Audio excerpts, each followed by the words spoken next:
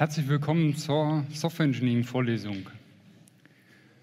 Die letzte Vorlesung im Semester, äh, letzte Vorlesung jetzt äh, für diese Lehrveranstaltung, äh, tatsächlich auch die letzte für mich an der Uni Paderborn. Äh, jetzt könnte man sagen, ihr habt mich so geärgert, dass ich schon wieder weg will. Ähm, tatsächlich ist der Hintergrund relativ vielfältig, äh, möchte ich euch jetzt auch hier nicht mit langweilen, aber äh, so, das Grundkonzept ist relativ schwierig, Familie und Beruf unter einen Huf zu kriegen mit einer Professur. Und äh, ich habe eine Möglichkeit gefunden, wie es für mich noch besser klappt, beides unter einen Hut zu bekommen. Und deswegen wechsle ich schon sehr schnell wieder, auch wenn das eigentlich eher nicht üblich ist, für einen Semesterbus an eine Uni zu kommen. Gut, aber das habt also nicht ihr verbockt ja, oder äh, nicht irgendwer anders hier an der Uni. Äh, tatsächlich eine Sache noch, bevor wir anfangen mit der Vorlesung.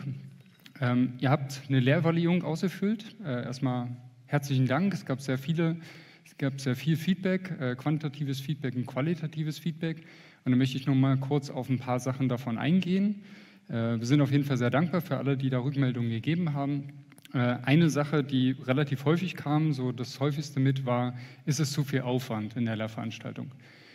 Ähm, tatsächlich ist uns das bewusst, uns auch bewusst, dass es mehr Aufwand war als in den letzten Jahren. Äh, mir ist, äh, als ich herkam, zu Ohren gekommen, dass es die leichteste Veranstaltung im Studium ist. Da habe ich gedacht, oh, das ist, äh, ist vielleicht nur bedingt hilfreich, wenn es die leichteste Veranstaltung ist.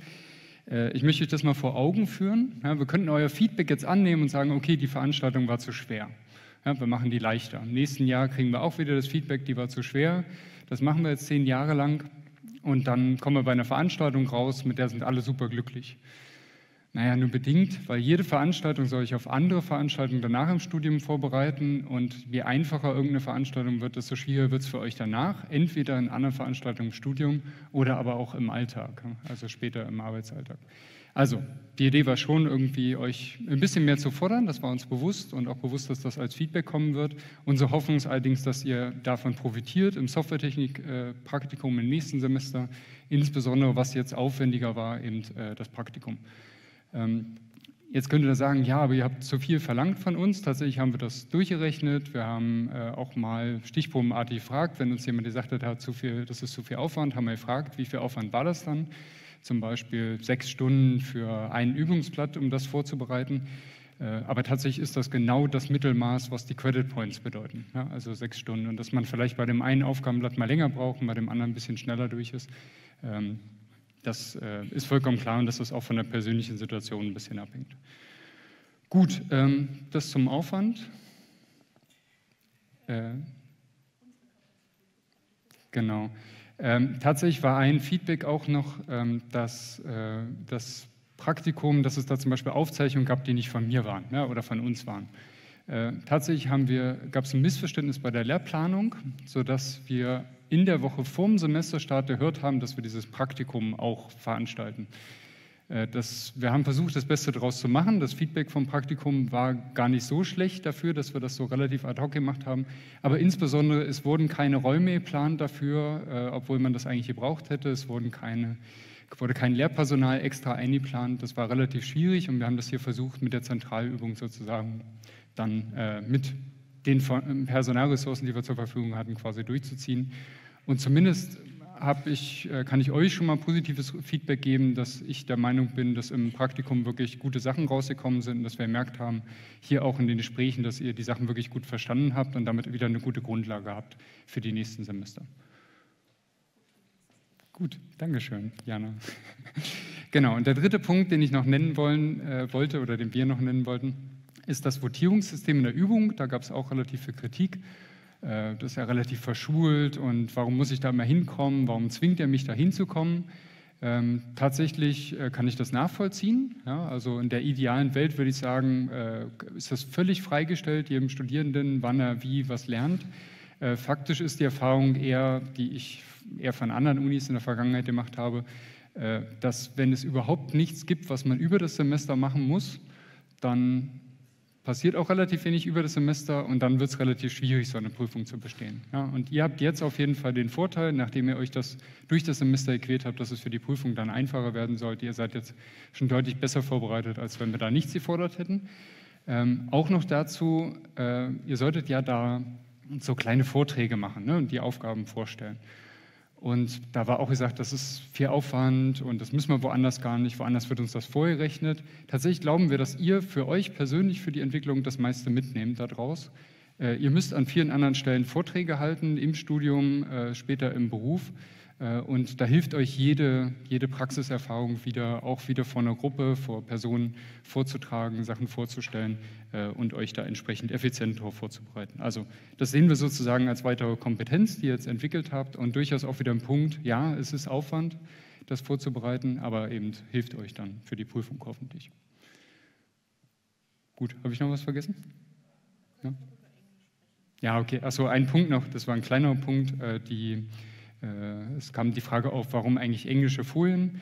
Äh, mich hat das selbst im Studium immer gestört, dass, ich, dass es eigentlich so ein Deutsch-Englisch-Mix irgendwie zwischen Folien ist. Ich habe andere Lehrstühle gesehen, die ganz viel Aufwand betreiben und irgendwie Folien immer übersetzen und dann gibt es eine deutsche und eine englische Fassung und dann muss man die irgendwie synchron halten.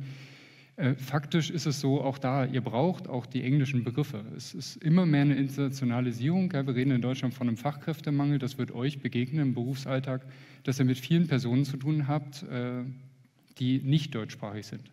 es gibt viele Firmen, bei denen alles schriftlich auf Englisch passiert und auch dafür müsst ihr vorbereitet werden. Also insofern sehen wir das eigentlich klar, das ist eine extra Hürde. Und wir haben auch ein paar Konsequenzen daraus gezogen. Zum Beispiel, äh, wenn deutsche Fachbegriffe in der Klausur kommen, dann würden wir da die englischen zum Beispiel immer noch mit dran schreiben, sodass euch da jetzt keine Nachteile dadurch entstehen. Gut, das war es erstmal zum Feedback zur Lehrveranstaltung. Also Dankeschön nochmal für das Feedback an euch. Da waren auch ein paar positive Sachen drin, nicht nur negative, haben uns natürlich auch darüber gefreut. Aber klar, die negativen Sachen sind natürlich auch, an denen wir irgendwie arbeiten können. Und eine Sache, die wir heute schon beherzigt haben, ist, dass es heute eine Viertelstunde später losging, denn ihr wolltet mehr Zeit zum Mittagessen haben. Konnten wir jetzt leider bloß noch einmal umsetzen. Gut, äh, gibt es noch organisatorische Fragen? Das kann ich für heute nochmal sagen. Also wir starten jetzt mit der Vorlesung. Die Überlegung war eben, wir wissen nicht, wie lange die Fragerunde dauert. Das kommt darauf an, wer wie viele Fragen dabei hat. Wenn jeder 100 Fragen von euch dabei hat, dann brauchen wir wahrscheinlich eine Weile. Und so können wir das etwas besser timen danach, wie viel Zeit wir dafür brauchen. Gut, wenn es keine Fragen gibt, dann würden wir starten mit der Vorlesung. Heute zum Thema Entwurfsmuster. So, ich starte ja immer mit so einer Folie und dann zeige ich irgendwie, ja, und das ist der Teil, mit dem wir uns jetzt beschäftigen. Ja, heute irgendwie Entwurf und Implementierung. Aber wenn euch das jetzt langweilig wird, in der letzten Vorlesung immer noch was anderes, Denn Entwurf gibt es in vielen anderen Bereichen, hier für die Fahrräder. Und es gibt vielleicht Entwürfe, die haben sich irgendwie durchgesetzt und welche, die haben sich nicht so durchgesetzt. Also mein Favorit ist irgendwie das von 1955, das hat sich nicht so durchgesetzt, zumindest sieht man relativ wenig, die sich so fortbewegen. Ähm, und tatsächlich ist das sogar die, die ja, Motivation für diese Vorlesung. Also es gibt offensichtlich Entwürfe und im Software Engineering gibt es die genauso wie an anderen Stellen, die besser geeignet sind als andere. Und wir wollen uns heute Entwürfe eingucken, die ja, gewissermaßen praxiserprobt sind, die gut funktionieren in der Praxis. Gut, und das machen wir mit drei verschiedenen Vorlesungsteilen. Wir gucken uns strukturelle Muster an, äh, Verhalten, Erstellungsmuster und Verhaltensmuster. Äh, das ist jetzt noch nicht so schlimm, wenn ihr da nicht direkt was mit ankommt, äh, anfangen könnt. Da kommen wir dann später drauf. Gut, zunächst mal könnt ihr euch fragen, äh, wo kommt das jetzt eigentlich her? Habe ich die alle in der Praxis gesehen? Nein, habe ich nicht. Äh, oder habe ich quasi das Wissen und ich möchte euch das vermitteln? Nein, das sind äh, alles Erfahrungsberichte, die von vielen Personen kommen und es gibt ein Viererteam von Personen, die diese Erfahrungsberichte zusammengeführt haben in einem Buch und die äh, vermutlich äh, äh, aufgrund der Namen äh, bekannt sind als Gänger vor, weil die keiner alle vier aufzählen will. Es sind nämlich Gamma, Helm, Johnson und noch jemand mit einem schwer auszusprechenden Namen. Bekannt als Gänger vor und das ist auch das Gänger vor Buch sozusagen. So, das ist eines der bekanntesten Bücher in der Informatik. Und äh, im Wesentlichen halten wir uns daran, was da drin steht. Äh, und ihr findet eigentlich auch alles, was ihr dazu nachlesen wollt, in diesem Buch. Was sind diese Entwurfsmuster? Ich lasse euch das kurz lesen.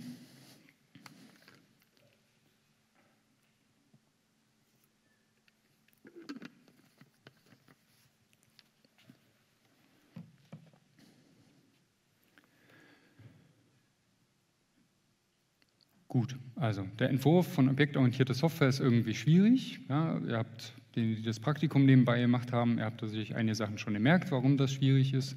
Äh, mein Favorite beim Praktikum war, äh, dass jemand in der einer Unterklasse Felder vom gleichen Namen hatte wie in der Oberklasse und das eine wird initialisiert und das andere nicht und da gab es eine Null Pointer Exception und da haben wir ewig dran gesucht, bis wir diese Stelle finden. Es ist also schwierig, objektorientierte Software zu schreiben, gute objektorientierte Software zu schreiben, aber es ist insbesondere noch schwieriger, wiederverwendbare zu schreiben. Also welche, die wir leicht später äh, weiterentwickeln können, äh, welche, die wir leicht, wo wir leicht auch Teile irgendwie wiederverwenden können. Und äh, man muss sagen, hier ist jetzt in der Definition oder dieser Motivations, äh, in dem Zitat ist jetzt reusable hervorgehoben. Allerdings ist äh, viel heute auch äh, einfach das Weiterentwickeln soll möglichst einfach möglich sein. Also Softwarewartung, Softwareevaluation soll möglichst einfach möglich sein. Und da gibt es eben diese Entwurfsmuster. Ähm, erstmal, aus was bestehen die? Naja, die haben einen Namen, damit wir die irgendwie eindeutig identifizieren können. Äh, die beschreiben ein gewisses Problem, eine gewisse Lösung zu dem Problem und gewisse Konsequenzen, die sich irgendwie daraus ergeben. Weil wenn ich jedes Mal, wenn ich eine Entwurfsentscheidung fälle, zum Beispiel bei einem Fahrrad den Rahmen wegzulassen, äh, dann habe ich vielleicht ein Problem, ja, wenn es dann bergab geht und mir die Räder irgendwie davonrollen, ich kann den nicht stoppen. Das wäre jetzt eine Entwurfsentscheidung für ein Fahrrad und in der Software, bei der Softwareentwicklung haben wir auch viele Entwurfsentscheidungen und die haben immer Vor- und Nachteile. Und das Interessante ist, es gibt also irgendwie wiederkehrende Probleme, Probleme, die es häufig gibt in der Softwareentwicklung, für die es sich lohnt, über generische Lösungen nachzudenken. Und wann immer es ein wiederkehrendes Problem gibt und es gibt eine generische Lösung dafür, dann kann man ein solches Entwurfsmuster aufstellen. Gut, der Name ist natürlich wichtig, ja, das fängt jetzt schon an. Ich bringe euch jetzt hier ein paar Entwurfsmuster bei. Und wenn jemand später mal euch ein Entwurfsmuster davon an den Kopf knallt, den Namen, dann müsst ihr nicht erst im Detail fragen, wie das dann funktioniert, sondern im besten Fall wisst ihr dann, wie das grob funktioniert und könnt damit schon was anfangen. Gut, äh, jetzt gibt es verschiedene Arten von Entwurfsmustern. Es gibt Erzeugungsmuster, Strukturmuster und Verhaltensmustern, nach denen ist auch die Vorlesung unterteilt, bloß in anderer Reihenfolge. Ähm, und zwar geht es manchmal darum, dass wir Probleme haben beim Entwurf, die damit zusammenhängen, wie Objekte erstellt werden. Das gucken wir uns im zweiten Teil der Vorlesung an. Manchmal gibt es Muster, die äh, damit zusammenhängen, wie sich gewisse Objekte verhalten, wann schicken die sich Nachrichten, wie oft schicken die sich Nachrichten, wer kommuniziert eigentlich mit wem, welches Objekt kennt welches andere. Äh, das sind Verhaltensmuster. Und dann gibt es Muster, die betreffen in irgendeiner Form, wie viele Klassen muss ich erzeugen, um das umsetzen zu können. Äh, wie sieht überhaupt die Struktur aus? Muss jede Gibt es vielleicht ganz viele Duplikate, weil ich die gleiche Methode an ganz vielen Stellen definieren muss? Habe ich vielleicht ganz viele äh, if-Abfragen im Code, um verschiedene ähm, ja, Klassen zu unterscheiden? Das alles sind Strukturmuster und die gucken wir uns im ersten Teil etwas genauer an. Gut, und ihr kennt diese Mindmaps äh, so oder so ähnlich jetzt an verschiedenen anderen Stellen. Und meist war das Ende vom Lied, dass ich gesagt habe, es gibt da verschiedene, wir gucken uns eine Auswahl davon an, es ist auch hier wieder so, es gibt verschiedene Strukturmuster, das sind die Namen. Und wir gucken uns davon äh, drei verschiedene an. Und genauso gibt es Verhaltensmuster, äh, und äh, wieder ist auch da das Ziel, dass ihr in der Vorlesung sollt ihr jetzt nicht alle runterbeten können, ja, das sind einfach zu viele, um die im Detail zu sp sprechen. Die Idee ist eher, ihr lernt ein paar kennen, lernt das Prinzip von einem Entwurfsmuster kennen, das kann man ohne ein konkretes Pattern oder Entwurfsmuster nicht machen äh, und lernt lieber alle diese drei Kategorien kennen. Und ihr seht, Verhaltensmuster gibt es sogar noch viel mehr, ähm, wo wir hier mal nur eins stellvertretend besprechen. Gut, das ist also die Übersicht und das sind die, die wir heute in der Vorlesung äh, kennenlernen und schon äh, besprechen werden. Und wie gesagt, das soll eher eine kleine Auswahl sein. Ich sehe die Gefahr, wenn wir zu viele hier besprechen, dann äh, bleibt nicht viel hängen. Und wenn wir weniger besprechen würden, dann habt ihr das Prinzip vielleicht von einem Entwurfsmuster noch nicht verstanden. Gut, gibt es Fragen soweit? Dann war das die allgemeine Einführung und wir starten jetzt etwas konkreter, nämlich wir gucken uns jetzt einzelne Entwurfsmuster an und gucken uns für die Entwurfsmuster mal an, was ist eigentlich das Problem, was wollen wir lösen, was ist ein wiederkehrendes Problem, was öfter in der Praxis auftaucht. Denn wenn ein Problem nur einmal in der Praxis auftaucht, dann macht es keinen Sinn, über eine generische Lösung nachzudenken, die man wiederholt anwenden kann. Äh, das heißt, es sind immer Probleme, die in der Praxis schon häufig aufgetreten sind und wir gucken uns jetzt hier eine generische Lösung an. Gut, ich lasse euch kurz die Motivation lesen für das Object Adapter Pattern.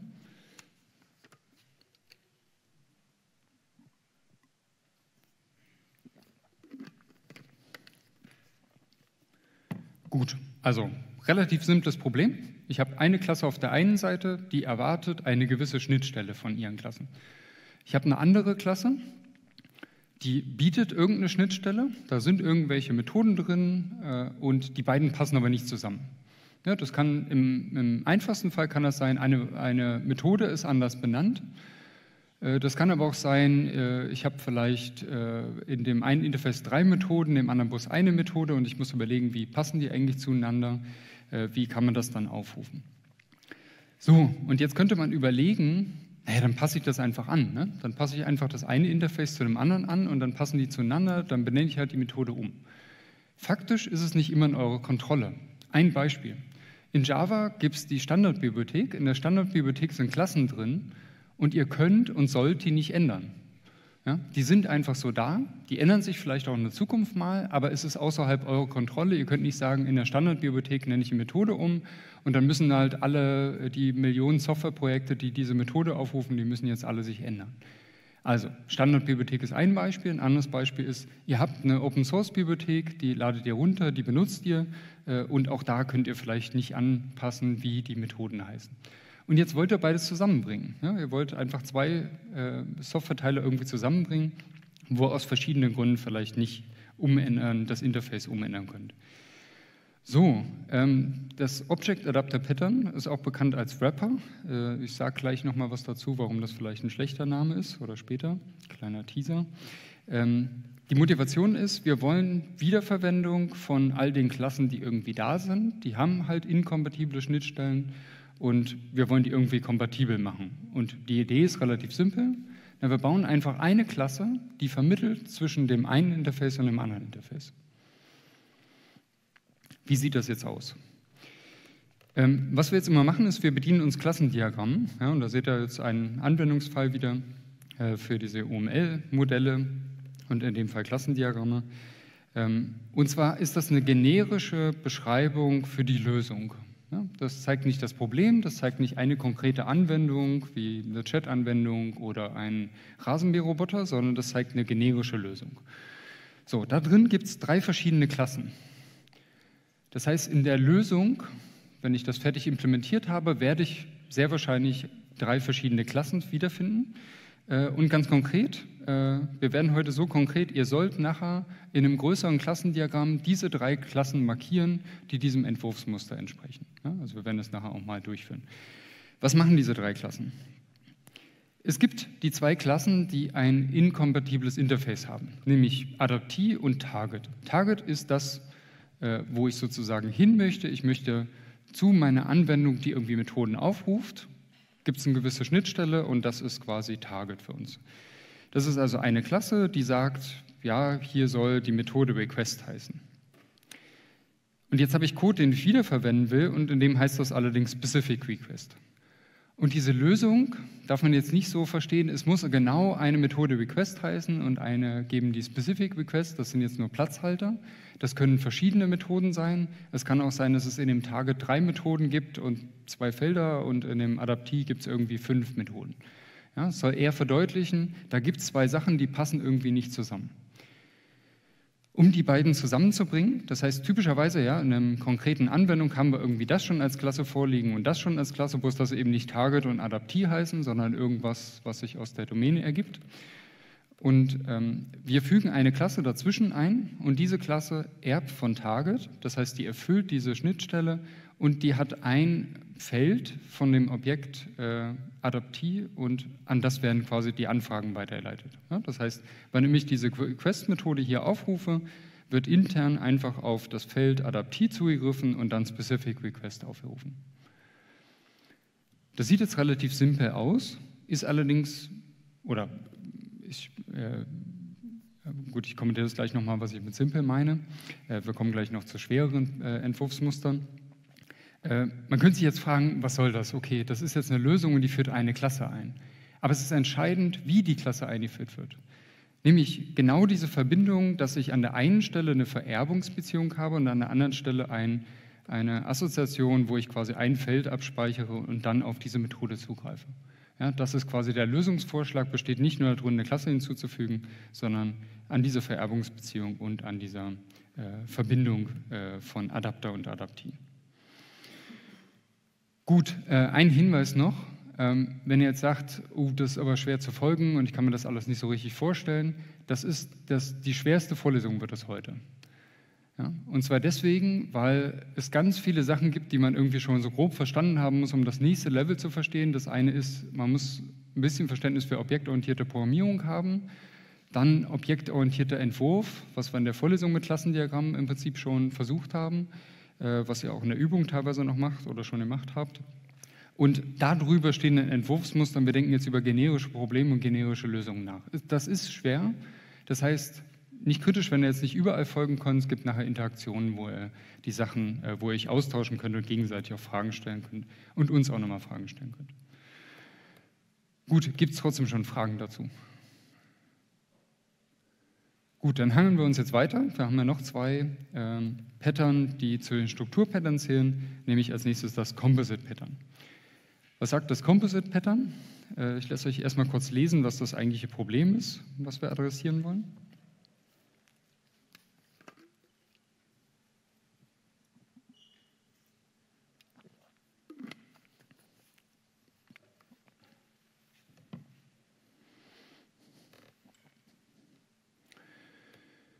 Gut, wir haben relativ häufig im Softwareentwurf eine Situation, wo wir irgendwie größere Dinge haben und kleinere Dinge haben und die kleineren Dinge wollen wir manchmal genauso behandeln wie die größeren Dinge und nicht jedes Mal eine Fallunterscheidung machen.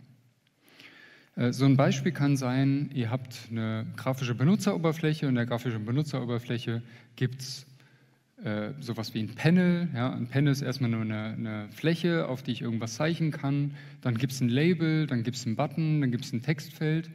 Und an irgendeiner Stelle wollte er halt sagen, ja, jetzt zeichne dich bitte. Und an der Stelle ist mir egal, ob das ein Panel ist oder ein Label oder ein Button, sondern soll sich einfach zeichnen. Ähm, vielleicht an einer anderen Stelle, wir wollen die irgendwo erstellen und wollen über die drüber gehen. Wir wollen zum Beispiel sagen, naja, bevor die GUI gezeichnet wird, soll das Layouting passieren. Dann möchte ich das einmal aufrufen und zwar auf dem Panel zum Beispiel, und dann leitet das Panel die Anfragen weiter an seine Kinder, berechnet seine Minimalgröße zum Beispiel, und dann wird es angezeigt. Gut, ähm, was wir also vermeiden wollen, sind Fallunterscheidungen. Und zwar Fallunterscheidungen an jeder Stelle im Code, wo ein solches Objekt auftauchen kann, dass wir sagen können, habe ich jetzt einen Button, habe ich da ein Label, habe ich da ein Feld und um diese Fallunterscheidung nicht an jeder Stelle im Code einführen zu müssen, wo wir irgendwie über diese Objekte sprechen, wollen wir mit abstrakten Klassen arbeiten. So, und äh, ein wichtiges Stichwort noch hier. Äh, wo haben wir von äh, das große Ganze und Teile äh, in Form von Klassendiagrammen, haben wir davon schon mal gesprochen? Erinnert sich noch jemand? Also, dass es ja irgendwie Klassen gibt, die eher für das große Ganze stehen und dann gibt es eher welche, die aus Teilen bestehen. Wo äh, ist uns das schon mal begegnet bei Klassendiagrammen?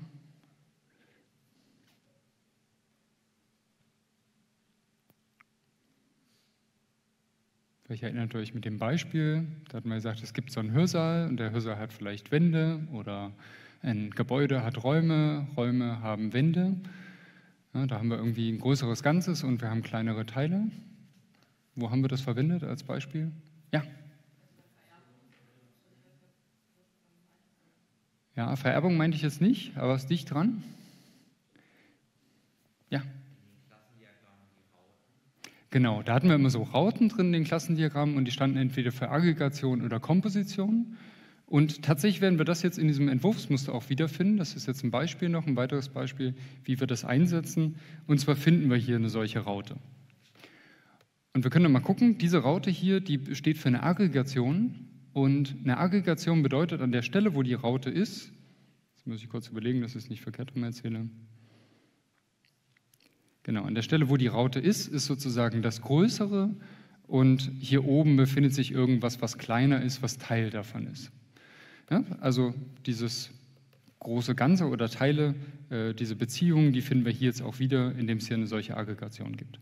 Gut, aber jetzt erstmal, was, äh, was passiert hier eigentlich? Äh, und tatsächlich auch der, der Tipp mit Vererbung ganz gut, denn das nutzen wir hier auch für das Entwurfsmuster. Nämlich, es gibt irgendwie Blätter, das sind sozusagen primitive Elemente, die bestehen aus nichts weiterem, sondern das wäre jetzt zum Beispiel so ein Button oder ein, ein Feld, wo ich irgendwie ein Textfeld, wo ich was eintragen kann. Und dann habe ich ein Composite, das kann jetzt ein Label sein, das kann, wenn ich irgendwie so eine Umgebung habe, wo ich mehrere Tabs habe, dann kann das eben so, können das so eine Reiter sein. Äh, irgendwas, was an sich selbst wieder aus verschiedenen Teilen bestehen kann. So, und jetzt könnte man auf die Idee kommen, naja, dann habe ich halt das Zusammengesetzte, ja, wie zum Beispiel ein, ein Panel, und das Panel besteht aus Buttons. So, und dann könnte ich jetzt sagen, naja, dann mache ich diese äh, Aggregationsbeziehung zwischen den beiden, aber dann kann ein Panel immer nur Buttons enthalten. Und das wäre ja relativ einschränkend. Und vor allem ist dann die Frage, was passiert in der Zukunft, wenn ich ein neues grafisches Element hinzufüge? Ja, vielleicht gibt es schon eckige Checkboxen und ich möchte noch Radio-Buttons hinzufügen. Das sind diese Runden und deuten typischerweise an, dass ich nur eine Einfachauswahl erlaube. So, wenn ich jetzt ein neues grafisches Element hinzufüge als Leaf, dann muss ich das jedes Mal dem Composite-Element wie dem Panel und allen anderen beibringen und müsste überall Fallunterscheidung machen. Und deswegen die Idee, naja, wir bilden einfach eine Abstraktion, die über den beiden steht. Die heißt jetzt hier Komponente. Ja, in einer konkreten Anwendung kann hier Button stehen, da kann irgendwie grafisches Element stehen und hier kann Panel stehen. Und das ist eine abstrakte Klasse. Die Idee ist, dass man das nicht selbst irgendwie instanzieren kann, sondern man soll sich immer entscheiden, ob man entweder ein Leaf oder ein Composite erzeugt. Jetzt haben die halt verschiedene Operationen, also zum Beispiel irgendeine Operation, die jetzt äh, bei dem Beispiel mit der grafischen Benutzeroberfläche könnte das das Zeichnen sein oder Minimalgröße der, der GUI berechnen. Das können also gewisse Methoden sein. Was ich allerdings auch typischerweise habe, ist, dass ich mir die Kinder zurückgeben lassen kann. Ja, Im Panel kann ich halt fragen, was sind deine untergeordneten Elemente und dann kann ich mir die alle zurückliefern lassen. Gut, und äh, jetzt ist so ein bisschen die irrwitzige Idee, äh, dass quasi hier drin dann es äh, Leaves gibt, also quasi Blätter in dieser Struktur, wo es quasi nicht weitergeht, die aber noch diese Get-Children-Methode haben. Und die haben einfach eine Implementierung, wo sie sagen, es ist die leere Liste, es gibt keine Kinder. Und das ist quasi der Trick. Aber so muss ich nicht an jeder Stelle eine Fallunterscheidung machen, äh, gibt es Kinder oder nicht. Und muss auch nicht immer eine Fallunterscheidung machen zwischen Leaves und Composites. Gut, was haben wir damit geschaffen? An jeder Stelle im Code, wo wir irgendwie mal einen Button haben können oder ein Label oder ein Panel, können wir jetzt einfach nur eine Variable vom Typ Component anlegen. Und an irgendeiner Stelle wird dieser Variable ein Wert zugewiesen und ich kann an jeder Stelle im Code leicht damit umgehen. Ich kann entweder Operationen aufrufen, wie zeichne das Element, oder auch gib mir die Kinder zurück. Gut, jetzt vielleicht noch ein Hinweis, hier sind wir noch ein bisschen spezifischer. Und zwar äh, sagt hier äh, die, das Composite-Element, dass wir quasi die Kinder abspeichern und es können eben beliebig viele Kinder sein. Ja, ich kann auch ein Panel anlegen und in dem Panel ist erstmal vielleicht noch nichts drin und ich möchte später was hinzufügen. Äh, ein Panel braucht nicht zwingend Inhalt, das heißt deswegen der Stern hier. Äh, und jedes Composite-Element äh, hat allerdings nur eine solcher Liste von, von Kindern und jede Komponente sollte eben auch nur in einer in einem solchen Composite-Element sein. Ja, und das ist wichtig, damit das nachher so ein Baum wird. Ja, und deswegen nochmal diese, dieser Begriff auf die Hierarchie. Sonst wäre es irgendwie schwierig, wenn ein Button gleichzeitig in dem Panel drin sein kann und in einem anderen. Und deswegen ist die Eins hier wichtig, dass ein einzelnes Element, egal welches das ist, kann immer nur ein übergeordnetes Element haben. Gut, gibt es hier noch Fragen?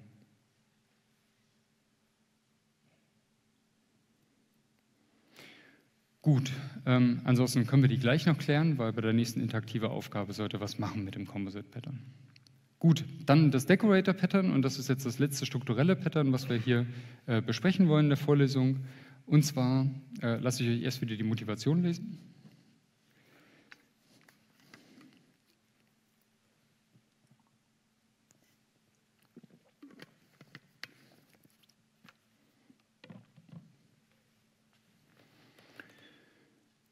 Gut, äh, vielleicht erstmal zum Namen. Das heißt Decorator Pattern und umgangssprachlich wird auch oft der Begriff Wrapper benutzt. Das ist relativ ungünstig, weil der Name Wrapper ist äh, überbelegt. Ja? Der äh, referenziert einfach viele verschiedene Patterns, deswegen sollte man das meiden. Und in dem eingangs genannten Gang of Vorbook ist das eben auch als Decorator Pattern und nicht als Wrapper, äh, Wrapper bezeichnet. Gut, also wenn euch irgendwann jemand sagt, ja, lass uns doch da einen Wrapper nutzen, dann müsst ihr immer erstmal nachfragen, welchen Wrapper, was meinst du eigentlich, weil es dann natürlich schnell zu Missverständnissen kommen kann. Gut, was ist das Problem? Ich habe irgendwie ein Objekt. Ja, wir haben Klassen, die beschreiben Objekte, die Objekte liegen irgendwo im Speicher und ich möchte irgendwann äh, zur Laufzeit, während das Programm läuft, sagen, das Objekt soll sich jetzt aber mal noch anders verhalten. Und was man jetzt machen könnte, ist jedes Mal, wenn man das Verhalten von so einem Objekt irgendwie ändern will, dann äh, erzählt, erstellt man eine Subklasse oder erstellt einfach generell eine neue Klasse, die dieses Verhalten von dem eigentlichen Objekt nimmt und irgendwie verändert und dann mehr Verhalten gibt. Das Problem ist, dass wir damit ein Objekt, was schon im Speicher liegt, während der Laufzeit, dass wir das nicht mehr umwandeln können, so einfach in ein anderes Objekt. Da müssten wir immer ein neues Objekt anlegen, und müssen irgendwie den bisherigen Zustand von dem Objekt übertragen. Gut, ähm, ein anderes Problem äh, ist noch, wenn wir jetzt nicht nur ein Verhalten hinzufügen wollen, sondern mehrere verschiedene Arten, und das sehen wir gleich an einem Beispiel, äh, dann passiert es, dass wir tatsächlich alle möglichen Kombinationen von Verhalten für jedes eine extra Klasse brauchen und dass uns das dann explodiert. Ne? Weil wir dann mit jedem zusätzlichen Verhalten müssen wir einmal mit und einmal ohne das Verhalten für jede der bestehenden Klassen das implementieren. Gut, ähm, hier machen wir es mal andersrum. Und zwar gucken wir erst auf das Beispiel drauf. Ich erkläre es am Beispiel und dann die generische Lösung. Und zwar ähm, findet ihr das Decorator-Pattern in Java und wer möchte, kann sich auch die konkreten Klassen dazu angucken, indem ihr oben auf den Link klickt im Handout. Ähm, das äh, gibt es in Java schon sehr lang so, also auch schon früheren Java-Versionen. Hier ist jetzt einfach mal 21 verlinkt. Gut, was passiert hier? Ich kann in Java, gibt es gewisse Klassen, mit denen ich Sachen einlesen kann. Ne? Das nennt sich Input Stream, es nennt sich Stream, weil es quasi so Zeichen für Zeichen einfach irgendwie kommt. Ähm, und was diese Einheit ist, Zeichen oder Zeilen oder äh, bestimmte Elemente kommen halt nach und nach an. Äh, Input steht dafür, dass wir irgendwas einlesen. Ja, ich lese zum Beispiel was von der Kommandozeile ein oder ich lese was aus einer Datei ein. Ähm, und Jetzt haben wir hier schon das Beispiel, ich kann eine Datei einlesen und dann heißt der Stream, der das machen kann, der heißt File Input Stream. So, das ist aber nicht der einzige, den es gibt. Es gibt auch einen Byte Array Input Stream. Dem kann ich einen Byte Array übergeben und kann dann aus diesem Byte Array einlesen. Und das Schöne ist, das kann ich mit den gleichen Methoden machen, egal ob das eine Datei ist, ob das von der Konsole kommt, ob das aus einem Byte Array kommt. Ich kann das immer gleich behandeln. Das heißt, in meinem Code benutze ich idealerweise einfach nur die Klasse InputStream, lege mir davon eine Variable an und an einer Stelle muss ich mal festlegen, wo die Daten herkommen, ob von der Kommandozeile, aus einer Datei oder aus einem Byte-Array äh, und dann kann ich das quasi einlesen. Das heißt, das ist für uns äh, eine Klasse, die wir quasi benutzen können und zu der wollen wir aber noch Verhalten hinzufügen. So, jetzt mal hier zwei Sachen, die es äh, jetzt hier gibt. Das eine ist äh, Buffered Input Stream. Wenn man irgendwas liest von der Platte, dann, also von der Festplatte, einliest von einer gewissen Datei, dann hat das typischerweise, braucht es einfach mehr Zeit, als wenn ich was aus dem Speicher direkt einlese. Ja, das liegt an der Computerarchitektur und das ist besser geworden dank SSDs, SSDs statt HDDs. Aber trotzdem haben wir noch einen riesen Gap, wie schnell ein Speicherzugriff funktioniert, wenn das schon im Speicher vorliegt, im RAM, oder wie schnell es geht, wenn das im, äh, auf der äh, Festplatte liegt. Gut, äh, um das zu überbrücken, kann man sich einen Puffer überlegen. Das heißt, ich lese nicht immer nur jedes Zeichen ein oder jede Zeile, wenn ich das gerade anfrage, sondern ich puffe schon ein bisschen was, ich lese schon ein bisschen was voraus. So, und so funktioniert der Buffered Input Stream. Und das Interessante ist, diesen Puffer, dass quasi mehr eingelesen wird, als man eigentlich in dem Moment braucht.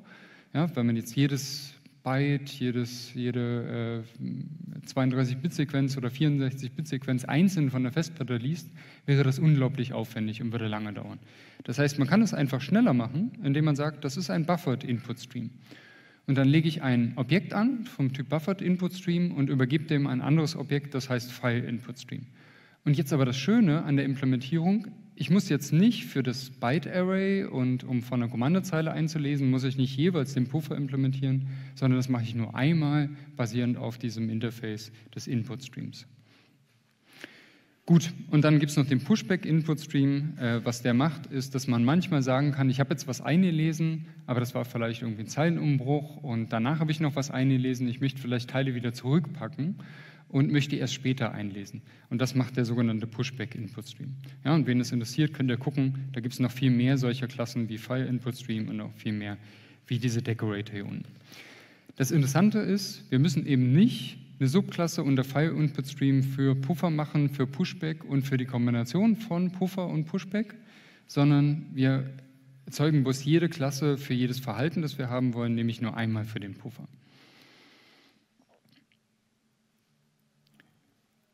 Gut, äh, ein Hinweis noch. Äh, auch hier haben wir wieder eine äh, Aggregation drin, also der Filter-Input-Stream, der braucht eben einen Input-Stream, auf dem er operiert. Und äh, deswegen hat man eben hier noch so eine extra Klasse eingeführt. Ja. Es könnte auch der Buffered Input Stream direkt vom Input Stream erben, aber darum kümmert sich der Filter Input Stream. Der hat eben dann ein Feld vom Typ Input Stream und an den wird erstmal alles weitergeleitet.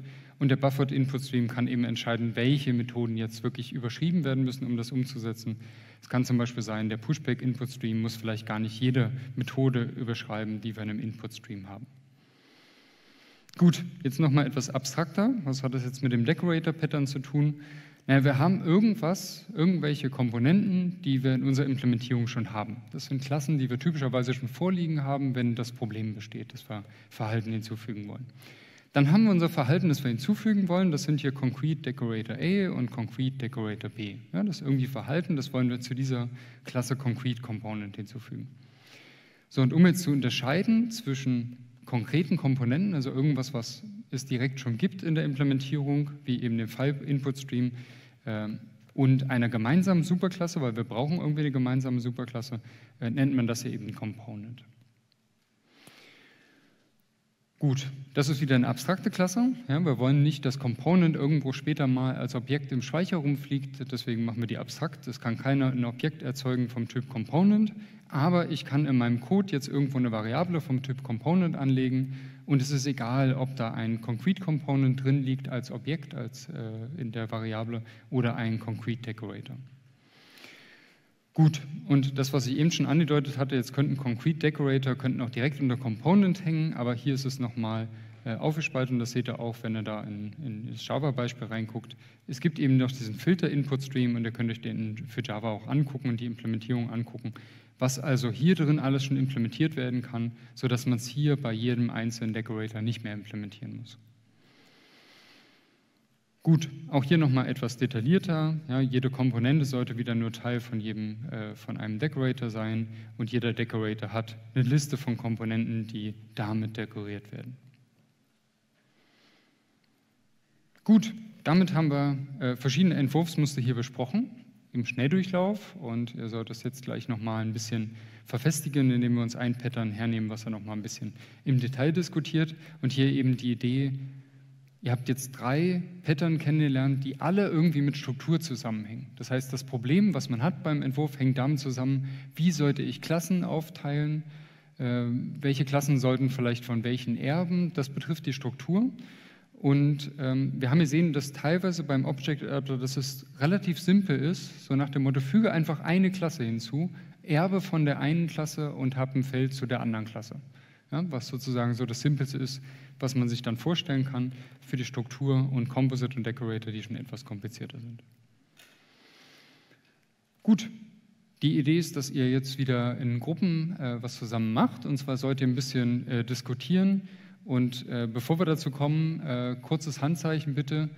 Äh, wer von euch hat das Praktikum äh, jetzt parallel in diesem Semester gemacht? Und nochmal die Gegenfrage, wer hat es jetzt nicht parallel gemacht, das Praktikum? Das sind ein paar Handmeldungen. Äh, ich würde mal im Schnelldurchlauf einen Taschenrechner vorstellen. Das ist jetzt für euch dann relativ neu, ja, wenn die das Praktikum jetzt nicht gemacht haben. Und für die anderen kurz zur Erinnerung. Ähm, das hier ist eine Taschenrechneranwendung. Die ist relativ simpel. Die hat einen Taschenrechner und der Taschenrechner hat eine Addition und die Addition ist immer eine Addition von zwei Werten. So. Was aber tatsächlich jetzt nicht geht, ist eine Addition von einer Addition von Werten zu haben oder überhaupt andere Optionen, äh, Operationen. Und äh, was wir dann gemacht haben, so mehr oder weniger in der Taschenrechner-Anwendung, äh, ist, wir haben eine neue Klasse hinzugefügt. Ja, es gibt einfach mehr Operationen. Ein Taschenrechner typischerweise nicht nur eine Rechenoperation, sondern mehrere. Hier jetzt mal stellvertretend die Multiplikation. Hier wurde Vererbung hinzugefügt, damit man nicht an jeder Stelle im Quelltext unterscheiden muss zwischen der Subtraktion, äh, der Addition und der Multiplikation. Ähm, aber das hat noch nichts mit einem Entwurfsmuster zu tun, sondern es ist einfach der Einsatz von Vererbung. Und das ist schon mal eine Sache, was relativ schwer zu verstehen ist. Wann ist es einfach Vererbung, wann ist es einfach Objektorientierung und wann ist es ein Entwurfsmuster? Gut, ähm, dann kann man sich überlegen, na, wir wollen vielleicht äh, nicht nur eine einzelne Addition haben, sondern wir werden vielleicht eine Addition von einer Addition, von einer Multiplikation haben oder komplexere Ausdrücke. Und was man dafür machen kann, ist zu sagen, naja, eine Addition kennt nicht genau ein Value, sondern eine Addition kennt selbst wieder eine Expression. Das heißt, eine Addition ist ein Plus und links und rechts davon, die Kinder sind wiederum beliebige Ausdrücke. Gut, was wir hier auch machen können, ist diese äh, Integer-Klasse irgendwie wieder zu verwenden. Ja, irgendwie das Value ist irgendwie komisch. Warum soll man dafür selber was implementieren? Es gibt ja schon Klassen, mit denen man Werte abspeichern kann, zum Beispiel ein Integer oder ein Double. Gut, und hier sehen wir jetzt, dass quasi der Integer wird hier benutzt. Ja, ich kann einen Integer unter eine Addition hängen ähm, aber das kann ich eben nicht direkt, weil ein Integer nicht die Evaluate-Methode und die Compute-Equation-Methode hat. Äh, weil ein Integer vielleicht andere Methoden hat, muss ich hier so ein Zwischenobjekt einbauen. Gut, und hier haben wir noch eine Besonderheit, äh, dass man jetzt überlegen kann, ähm, Im Praktikum hatten wir, oder auch in der Vorlesung hier hatten wir mal irgendwann das Beispiel ne, mit dem äh, 1 plus 2 mal 3, und wo je nachdem, wie man das klammert, kommt man halt bei dem einen oder dem anderen Ergebnis raus. Und dann kann man jetzt sagen, na, ich füge einfach immer Klammern ein und wenn man sagt, ich füge nur dann Klammern ein, wenn ich sie auch brauche, dann gibt es eine relativ komplexe Logik. Und in euren Implementierungen im Praktikum haben wir gesehen, das habt ihr meist äh, gemacht oder einige haben das gemacht, ne, das war die optionale Aufgabe am Ende. Wenn man das allerdings macht, dann ist es relativ schwierig, wenn man ein bisschen der Logik steht in der Addition, ein bisschen steht in der Multiplikation. Eigentlich will man das an einer Stelle zusammen haben und das kann man eben so machen, äh, indem man hier so eine Extraklasse anlegt und die erkennt einfach anhand von dem, was drüber geordnet ist und an dem, was drunter ist in den Kindern, erkennt die, ob solche Klammern gebraucht werden oder nicht. Gut, dann haben wir vielleicht, und das ist etwas weiter gesponnen, haben wir vielleicht auch Logging. Wir wollen irgendwie äh, manchmal Debug-Ausgaben machen, wenn wir das Programm testen und die wollen wir aber nicht im realen System haben. Das heißt, wir wollen die einfach abschalten können oder mal auf die Kommandozeile leiten und mal eine Textdatei. Und um das einfach umschaltbar zu machen, ist eben praktisch eine extra Klasse zu nehmen, aber dann wollen wir natürlich, dass es dieses Objekt nachher auch nur einmal gibt, diese Logger-Klasse. Da kommen wir gleich nochmal drauf zurück. Und dann kann man sich noch überlegen, ja, wäre jetzt schön, wenn der Taschenrechner auch mal unterschiedliche Stile hat vom Layout, zum Beispiel irgendwie in Dark Mode und Light Mode oder irgendwie größere Schrift um, äh, für bessere Lesbarkeit. Äh, dann kann man sich eben überlegen, dann muss irgendwie was mit den Labels und Buttons passieren, also mit allem, was irgendwie Text hat was irgendwie Farben repräsentiert in der GUI und das möchte man vielleicht auch austauschbar haben und nicht an jeder Stelle, wo man irgendwas Neues hinzufügt, dann das austauschen können. Ähm, das war jetzt nochmal etwas ausführlicher, aber wir nutzen das als äh, laufendes Beispiel durch die ganze Vorlesung und für diejenigen, die eben das Praktikum nicht hatten, äh, war es nochmal eine kleine, kurze Einführung in diesen Taschenrechner und für die anderen war es eine kleine Erinnerung äh, an einen Taschenrechner. Ihr könnt da einfach über eure eigene Implementierung nachdenken. Die Frage für euch ist jetzt, und wir nehmen uns da jetzt so äh, drei bis fünf Minuten, äh, dass ihr mal diskutiert, wo könnte man das Composite Pattern in der Taschenrechneranwendung äh, anwenden, wo könnt ihr das da verwenden? Äh, seht ihr das da schon irgendwo? Gibt es vielleicht Erweiterungen, die ihr euch überlegen könnt? Ihr könnt auch über euren eigenen Taschenrechner da nachdenken. Vielleicht seht ihr aber auch hier in diesem Schaubild was. Ja? Und hier ist für euch nochmal zur Erinnerung äh, äh, das Composite Pattern dargestellt. Gibt es dazu Fragen? Gut, dann äh, gern, wenn noch Fragen zwischendurch sind, einfach melden. Ansonsten nehmen wir uns jetzt so drei bis fünf Minuten dafür.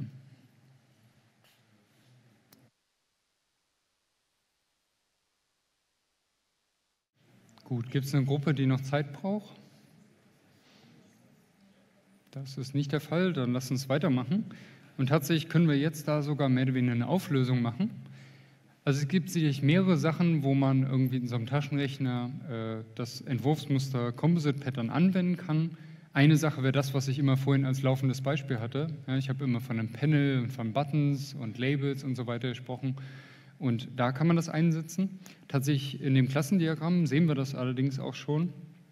Und es war vielleicht äh, jetzt relativ naheliegend, wenn ihr das implementiert habt, aber wenn man jetzt so das erste Mal drauf guckt auf das Klassendiagramm, vielleicht noch nicht. Ähm, und das Schöne ist, dass es in UML eine Notation gibt, mit der wir Klassendiagramme kenntlich machen können. So, da muss ich ein bisschen recherchieren, ist auch neu jetzt in, in der äh, Vorlesungsiteration. Ähm, das hatten wir sonst noch nicht drin in der Vorlesung. Ähm, und zwar ist es das Composite Pattern, finden wir hier an der folgenden Stelle. Ja, ähm, was wir jetzt machen ist, wir tragen so eine Ellipse ein und die Ellipse ist gestrichelt. Ja, eine gestrichelte Ellipse hatten wir auch bisher noch nicht. Äh, das heißt, die können wir nicht mit irgendwas anderem verwechseln, was wir schon im anderen Diagramm gesehen haben. Äh, was am nächsten dran ist, irgendwie ein Use Case aus einem Use Case Diagramm, ne, aber dann wäre es durchgezogen. Äh, das heißt, es ist eine neue Notation. Und die steht eben dafür, dass hier kann irgendwas drinstehen. Bei uns ist es jetzt immer ein Entwurfsmuster, in UML können dann noch andere Sachen drinstehen. Und das, was hier drinsteht, in dem arbeiten, äh, das ist eine Kollaboration, so arbeiten verschiedene Klassen zusammen. So, und an der Stelle schreiben wir jetzt quasi Composite Pattern rein. Ja, wir haben das Composite Pattern gefunden oder wir wollen das umsetzen oder je nachdem, was wir gerade modellieren wollen, ob wir die Lösung vorher modellieren wollen oder im Nachhinein quasi modellieren wollen, was wir umgesetzt haben. Und jetzt können wir die Rollen kenntlich machen. Und das ist jetzt vielleicht nochmal äh, interessant, wie die Notation quasi aussieht. Und zwar, man hat gestrichelte Kanten zu allen Klassen, die damit zu tun haben. Manche Gruppen brauchen doch noch Zeit, das zu verarbeiten. Und wir sehen hier, dass quasi die Rolle der Komponente übernimmt die Expression an der Stelle. Ja? Also wir haben in dem Beispiel eine Expression und das ist die Komponente, die hier oben steht. Wir haben aber auch noch Leaf und Composite und wir erkennen hier an diesen Beschriftungen von diesen Kanten, dass quasi Value ist das Leaf oder das Blatt in dem Composite Pattern, äh, wohingegen Addition, Multiplikation und Necessary Brackets sind jeweils Composite äh, die haben jeweils noch Kinder. Ne? Also wenn ich irgendwie sage, ich habe hier diese Klasse und die soll jetzt, wenn nötig, noch Klammern hinzufügen, dann hat die noch ein weiteres Kind, mindestens eine Expression, die nämlich da drin steht, noch eine Addition oder Multiplikation. Äh, wenn ich eine Addition habe, dann hat die links und rechts noch irgendwie Kinder. Das können Values sein, es kann auch links ein Value stehen und rechts eine Multiplikation. Ja, das heißt, das sind auch Composite-Elemente, die sich aus mehr Sachen zusammensetzen. Und auch das sehen wir wieder an der Aggregation, ne, der Composite. Ich sind gerade ein bisschen viele, die gleichzeitig reden. Ihr könnt gleich wieder reden, es kommt gleich die nächste Interaktion. Äh, und beim Composite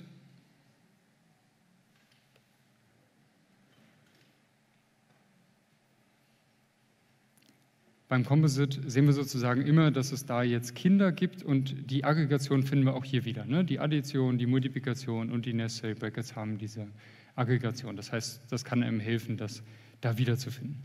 Gut, ähm, und was für euch wichtig ist, dass ihr euch diese Notation einprägt, äh, weil die werdet ihr dann nachher noch brauchen und die steht nicht in eurem Handout. Die müsst ihr jetzt nachher aus dem Kopf zeichnen.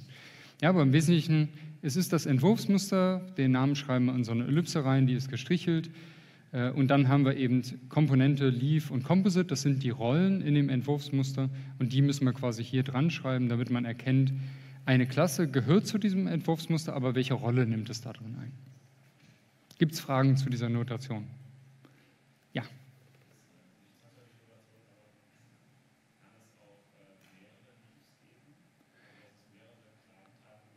Genau. Die, die Frage ist jetzt, kann es in dem Composite Pattern mehrere Leaves geben? Äh, und das ist eine sehr gute Frage, ähm, weil was ich da auch noch nicht so richtig verdeutlicht habe bisher ist, Entwurfsmuster heißt immer, das ist so eine Art Schablone, die kann ich irgendwie anwenden, aber es kann in meiner Anwendung immer anders aussehen. So, und was wir jetzt in dem Beispiel schon sehen, ist, es gibt nicht nur einen Composite, Ne? In dem Beispiel mit der GUI war das vorhin immer mein Panel. Ich habe so ein Panel und das kann verschiedene grafische Elemente irgendwie strukturieren, sondern wir haben hier Addition, Multiplikation und Necessary Brackets. All das sind Composites. Und genauso kann ich auch mehrere Leaves haben. In dem Beispiel, was ich vorhin immer hatte, waren das Label und Button und Textfeld. Ja? Ich kann also mehrere Leaves haben, mehrere Composites äh, oder irgendwie geartete Kombinationen davon. Dankeschön für die Frage. Gibt es noch mehr Fragen? Gut, dann machen wir weiter mit der Vorlesung. Dann, ihr sollt auch die anderen äh, äh, Patternarten noch kennenlernen. Und am Ende von dem Teil sollt ihr selbst äh, auf diesen Handouts, die wir euch gleich äh, verteilen werden, sollt ihr mal Pattern markieren. Das heißt, es lohnt sich jetzt aufzupassen und zu überlegen, mitzudenken und zu überlegen, welche Patterns wir hier besprechen. Gut, also Struktur-Patterns haben wir jetzt besprochen, die haben wir jetzt abgehakt. Äh, wir wollen uns jetzt Verhaltenspatterns angucken und da gucken wir uns zwei Patterns an, die heißen Abstract Factory und das Singleton Pattern. Und die sind tatsächlich äh, deswegen auch so gezeichnet, äh, zwei Einheiten in einem Spektrum. Das Singleton Pattern ist das leichteste Pattern, was es überhaupt irgendwie gibt, aber auch von den Verhaltenspattern. Und das Abstract Factory Pattern ist das zumindest nach meinem Kenntnisstand das komplexeste Pattern, was es irgendwie gibt. Ähm, aber deswegen auch eins, was wir uns hier mal angucken wollen. Gut, das Singleton-Pattern. Äh, hier ist die Beschreibung relativ kurz, ähm, dann nehme ich euch gleich mal mit. Ähm, die Idee ist, ich möchte für eine gewisse Klasse sicherstellen, dass es davon nur genau ein Objekt später im Speicher gibt. Das kann manchmal sinnvoll sein, weil man vielleicht ähm, einfach Speicherplatz sparen will ja, und ich möchte, dass bestimmte Objekte mehrfach vorliegen, obwohl man die nur einmal braucht. Und es kann vielleicht auch sinnvoll sein, weil es ansonsten irgendwelchen un unkontrollierten Zugriff gibt, wenn, man, wenn ihr euch überlegt, ihr habt eine gewisse Datei und in diese Datei schreibt ihr was rein, dann wollt ihr vielleicht das sicherstellen, dass es eben nur ein Objekt gibt, was auf diese Datei schreibt gleichzeitig und nicht mehrere, weil dann kann es irgendwie Konflikte geben beim Schreiben oder Lesen. Gut, äh, was wir die Lösung dafür oder die Lösung für dieses Problem ist, naja, wir versuchen einfach sicherzustellen, dass ein gewisse, von einer gewissen Klasse es nur ein Objekt geben kann. Wie machen wir das? Naja, den Konstruktor, den machen wir private und wir stellen sicher, dass der private Konstruktor quasi nur einmal ausgeführt wird. So, ich hatte schon angedeutet, es ist das äh, kleinste Pattern, was man sich irgendwie denken kann, ähm, aber nicht nur äh, grafisch, sondern auch, weil es nur aus einer Klasse besteht. Äh, und das Entwurfsmuster bedeutet sozusagen, naja, leg einfach eine Klasse an. Und das Zentrale ist, äh, dass ich einen Konstruktor habe. Ja? Ähm, hier angedeutet als äh, Singleton, weil hier oben der, der Klassenname Singleton steht. Da steht natürlich euer spezieller Klassenname dann drin in der konkreten Anwendung. Und hier steht ein Minus und das steht dafür, dass es private ist. Was heißt private? Private heißt nur zugreifbar außer, innerhalb von dieser Klasse. So, das heißt, wir haben schon mal verhindert, dass man irgendwie unkontrolliert äh, von außen Objekte erzeugen kann. Jetzt müssen wir nur noch ermöglichen, dass man überhaupt darauf zugreifen kann. Und äh, dafür legen wir eine Instanzvariable an, äh, eine Klassenvariable an, deswegen ist die auch unterstrichen hier. Ja, jetzt sehen wir das ganze Wissen von den Klassendiagrammen, brauchen wir jetzt wieder. Ja, also unterstrichen heißt ein statisches Feld, also ein Feld, was es nur einmal gibt für diese Klasse. Gut, und äh, da legen wir also ein Objekt rein von dem Typ und jetzt haben wir Jetzt könnten wir theoretisch den Zugriff darauf erlauben, aber das nützt nicht viel, weil es kann ja niemand von außerhalb das Objekt anlegen. Wir müssen also irgendwie den, den Zugriff kontrollieren.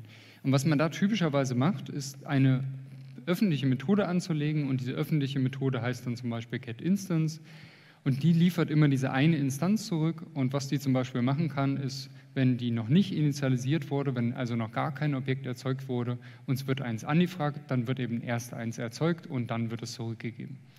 Ja, das heißt, was man hier eben typischerweise macht, ist, hier ist eine Fallunterscheidung in der Methode, die guckt, wenn der Wert hier von null ist, dann äh, legt ein neues Objekt an und gibt das zurück. Und wenn es schon eins gibt, dann gibt es eben einfach zurück. Aber dann kann ich eben sicherstellen, dass es nur dieses eine Objekt geben wird und genau das bekomme ich immer mit dieser GetInstance-Methode. Äh, wichtig, das Ganze funktioniert auch nur, weil das hier eine statische Methode ist, weil das hier unterstrichen ist. Ähm, weil ich kann ja nicht erst ein Objekt anlegen und darauf Methoden ausführen, sondern ich kann nur Methoden auf der Klasse ausführen von außen. Äh, und auch wichtig, dass es dann eben public ist, dass ich es von überall aufrufen kann. Gut, gibt es Fragen dazu? So, ihr seht, das sieht relativ simpel aus. Das ist eine Klasse, da sind drei Member drin, ja? ein Feld und äh, ein Konstruktor und eine Methode. Aber es ist kritisch, wie die modelliert sind. Wenn hier der Konstruktor nicht private modelliert ist, dann ist das Entwurfsmuster nicht umgesetzt. Dann kann ich an beliebiger Stelle irgendwie äh, noch ähm, noch äh, äh, Objekte anlegen und dann habe ich das Singleton-Pattern nicht so umgesetzt, wie es gedacht ist. Gut, seid ihr bereit für das komplexeste Pattern, was es gibt? Zumindest nach meinem Kenntnisstand. Also jetzt nochmal durchatmen. Was wollen wir da machen? Äh, ich lasse euch das kurz lesen, kann ich auch nochmal durchatmen.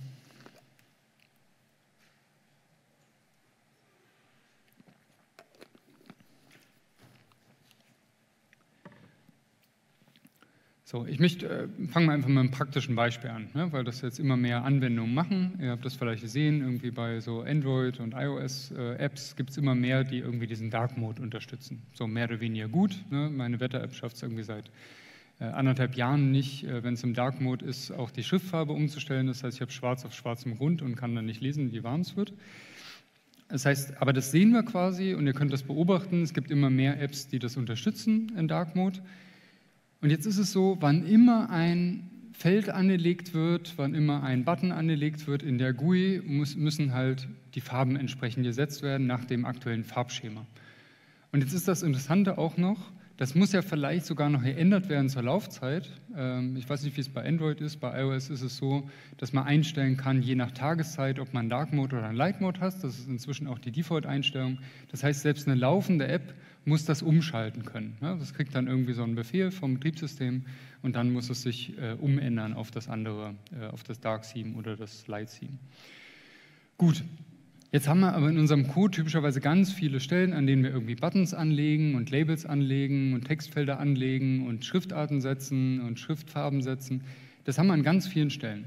Und wir wollen jetzt nicht an jeder Stelle in dem Code eine Fallunterscheidung machen und sagen, wenn der Light Mode ist, dann nutze das, wenn der Dark Mode ist, dann nutze das. Ja, weil das an ganz vielen Stellen eigentlich eine Sache implementieren würde, nämlich Dark Theme und Light Theme. Warum ist das schlecht? Ja, was ist, wenn sich irgendwann jemand noch ein drittes Theme überlegt? Äh, dann fange ich wieder an und muss diese ganzen Fallunterscheidungen durchgehen.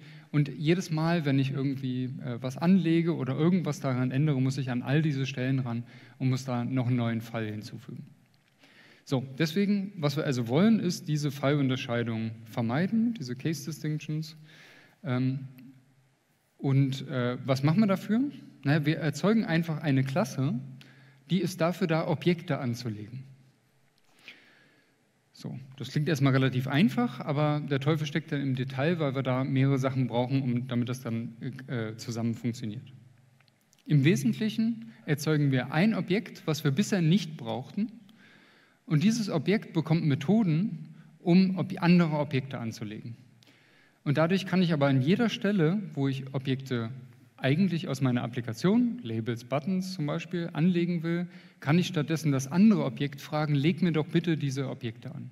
Und dann kann ich dieses Objekt, was die quasi im Light Mode zum Beispiel anlegt, kann ich ganz, ganz leicht austauschen durch eins, was im Dark Mode operiert. Und dann muss ich bloß an einer Stelle was austauschen und nicht überall Fallunterscheidungen hinzufügen. Wie funktioniert das jetzt? Prinzipiell geht es, und das sagt die Beschreibung hier oben, um eine Familie von ähnlichen oder verwandten Objekten. Das ist relativ schwammig formuliert. Ja, das können zum Beispiel Labels, Buttons sein. Dann ist das quasi, es ist eine Familie, weil alles sind grafische Elemente, aber alle sind natürlich ein bisschen unterschiedlich und sind wirklich unterschiedliche Objekte. Ja, da liegt nach ein anderes Objekt im Speicher, ob ich ein Label habe oder ein Button. So, jetzt kann man sich überlegen, ich habe halt Produkt A wäre jetzt ein Label, Produkt B wäre ein Button. So, es gibt also Labels und Buttons und die wollen wir aber jetzt verändern. Wir wollen ein Label durch ein anderes Label ersetzen. Wir wollen einen Button durch einen anderen Button ersetzen. Und deswegen gibt es, und das ist hier sozusagen als Produkt äh, markiert, gibt es quasi eben nicht nur das Produkt A, sondern es gibt das Produkt A1 und A2. Ne? Und vielleicht einmal einen Button im Light Mode und einen Button im Dark Mode. Gut, ähm, jetzt äh, und typischerweise haben wir eben mehr als ein so ein Objekt. Wir haben eben hier vielleicht äh, eine so eine Familie von äh, Labels, eine so eine Familie von Buttons und dann ist, haben wir vielleicht noch Radio-Buttons und Checkboxen und, und ähnliches. Wie viele wir dann in der Anwendung haben, ist wieder egal. Das ist eine ähnliche Diskussion wie mit dem, bei dem Composite Pattern mit dem Leaf. Da kann es beliebig viele geben, das ist unabhängig davon. Äh, was wir dann machen, ist einfach mehr dieser Methoden hier erzeugen. Es ist angedeutet für zwei Produkte. Äh, ich kann hier aber auch fünf Methoden hinzufügen und fünf verschiedene Produkte erzeugen. Warum heißt das jetzt Produkt und warum heißt das Ganze Factory Pattern? Warum es abstrakt heißt, sage ich gleich. Naja, die Vorstellung ist tatsächlich die von einer Fabrik. Ich habe eine Fabrik und da kann ich sagen, jetzt sollen Objekte erzeugt werden. Das, da kann ich am Anfang, am Eingangstor sagen, was ich haben will und dann wird es produziert und dann kommt das irgendwie wieder raus und dann habe ich das Objekt, was ich haben will. Das heißt, die Objekte, die wir erzeugen wollen, unterscheiden wir von den anderen Objekten, indem wir die Produkte nennen. Wir sagen nämlich, wir erzeugen gewisse Produkte in dieser Factory. Ja, das heißt, die Analogie ist, deswegen sind das hier Produkte und das sind konkrete Produkte und dann haben wir hier eine gemeinsame Entsprechung mit abstrakten Produkten. Sage ich gleich nochmal was zu. Gut, und was wir jetzt aber machen wollen eigentlich, ist ja austauschen. Wir wollen nämlich einmal die Objekte so erzeugen im Light Mode und einmal im Dark Mode. Damit wir das machen können, gibt es einfach zwei Factories. So, ähm, das heißt, ich mache eine zum Beispiel Light Mode Factory und eine Dark Mode Factory und wenn ich halt die Create, äh, Create Button Methode aufrufe auf der Light Mode Factory, kriege ich halt einen Light Button raus und wenn ich die auf dem Dark Mode ausführe, kriege ich halt einen Dark Button raus. So, warum brauchen wir jetzt diese verschiedenen abstrakten Klassen? Um Fallunterscheidungen zu vermeiden.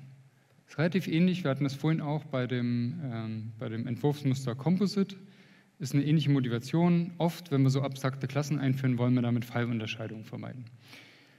Warum haben wir abstrakte Produkte? Irgendwo in, unserem, in unserer Applikation wollen wir mit Buttons arbeiten. Ja, dann wollen wir sagen, hier wird der Button angelegt, an der Stelle wird dem Button die Größe gesetzt, an der Stelle wird dem Button gesagt, was das Label ist, was auf dem Button drauf ist. Äh, in der Taschenrechneranwendung habt ihr ein Textfeld gehabt, das Textfeld habt ihr irgendwann zurückgesetzt, äh, wieder leer gemacht, bei einem Reset-Button gedrückt habt oder wenn ihr irgendeinen anderen Button gedrückt habt, wurde es vielleicht auch zurückgesetzt. So, das heißt, irgendwo in unserer Applikation brauchen wir diese Objekte, diese Produkte. Und damit wir nicht jedes Mal ein Produkt vom Typ A1 abspeichern müssen und eins vom Produkt A2, macht es Sinn, eine übergeordnete Klasse zu haben und einfach nur zu sagen, ich habe jetzt hier einen Button. Und es kann eben ein Light-Button sein oder es kann ein Dark-Button sein. Aber es ist mir in dem Rest der Anwendung eigentlich egal. Ich habe einen Button und ich brauche nur gewisse Methoden. Ich muss dem sagen können, was hat das für ein Label, der Button, ähm, was passiert, wenn ich den klicke. So, das ist der Grund, warum ich hier abstrakte Produkte habe. Warum jetzt eigentlich die abstrakte Factory? Und das ist quasi, das klingt erstmal, und ich glaube, man hat keine Chance, das schon am Anfang völlig zu verstehen, wenn ihr das jetzt das erste Mal hört. Ähm, das klingt erstmal relativ abgefahren, aber warum jetzt Abstract Factory? Es gibt ja gewisse Stellen im Code, wo ihr jetzt ein Objekt braucht, was euch diese ganzen Produkte erstellt. Ja, die Concrete Factory, die zum Beispiel die Light, äh, Light Mode Factory sein kann. So. Jetzt könnt ihr euch davon, von dem Typ ein Objekt anlegen und das überall benutzen und davon eine Variable anlegen. Aber ihr könnt es dann nicht leicht austauschen, weil an jeder Stelle, wo ihr auf diese Variable zugreift, kann es ja nur ein Objekt von dem Typ sein. Ja, an ganz vielen Stellen im Code habt ihr jetzt nicht mehr stehen New Button, äh, New Light Button, New Dark Button, sondern da habt ihr stehen äh, Concrete Factory 1. Äh, äh, Create Product A, was dann konkret sein könnte äh, Light, äh, Light Mode Factory. Create Button. So. Aber ihr wollt nicht an jeder Stelle wieder eine Fallunterscheidung machen und sagen, habe ich jetzt eine Dark Factory, habe ich eine Light Factory, sondern an der Stelle wollt ihr eine Variable haben, sodass ihr die leicht austauschen könnt und dass ihr gar nicht eine Unterscheidung machen müsst. Habe ich jetzt eine Light Factory oder habe ich eine Dark Factory? So, und deswegen ist quasi eine ähnliche Begründung wie bei den Produkten. Wir haben darüber noch eine Abstraktion, das ist eine abstrakte Klasse typischerweise, könnte auch ein Interface sein. Ähm, und das wird überall benutzt als Feld und nur an einer Stelle, ja, wenn man es gut löst, kann man an einer Stelle eine Fallunterscheidung machen und gucken, ist jetzt gerade vom Nutzer Dark Mode oder Light Mode aktiviert und dann kann ich an der Stelle ein passendes Objekt anlegen und ich habe ansonsten keine weiteren Fallunterscheidungen in meinem Code. Ja, und da sehen wir nochmal, der zentrale Punkt hier bei den Erklärungen war immer, wir wollen Fallunterscheidungen vermeiden.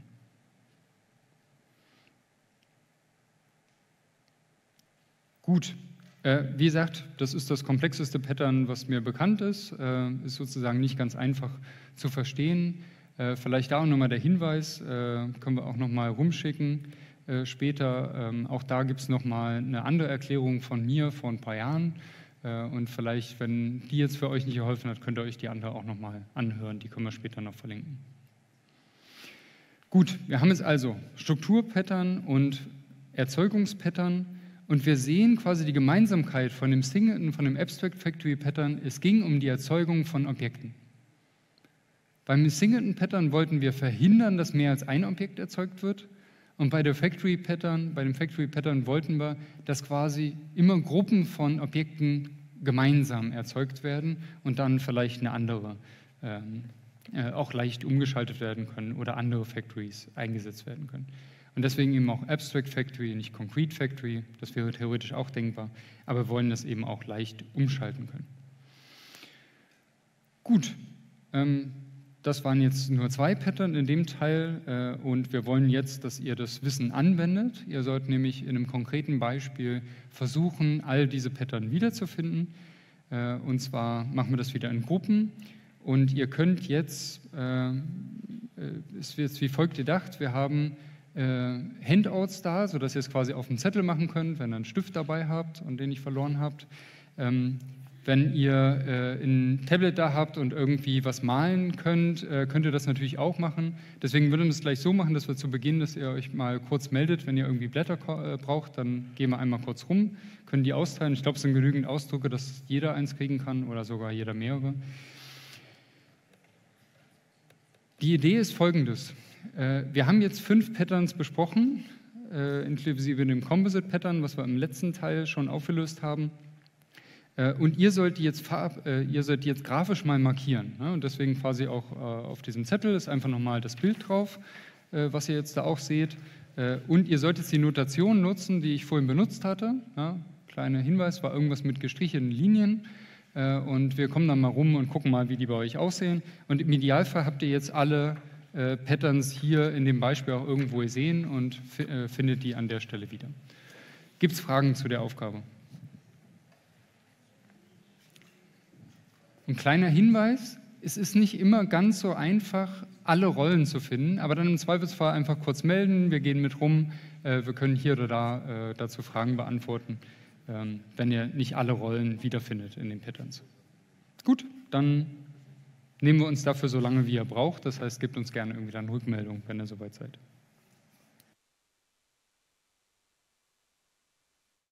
Gut, also neben äh, dem Fakt, dass das relativ schwieriges, anspruchsvolles Thema ist, Entwurfsmuster, gab es zwei Herausforderungen, die ich gesehen habe. Das eine war äh, die Notation und das andere war die, die Entwurfsmuster halt zu verstehen. Äh, die Profis haben sich von der Notation natürlich vorhin gleich ein Bild gemacht äh, von dem und den anderen habe ich gerade noch ein bisschen oder haben wir jetzt noch ein bisschen geholfen.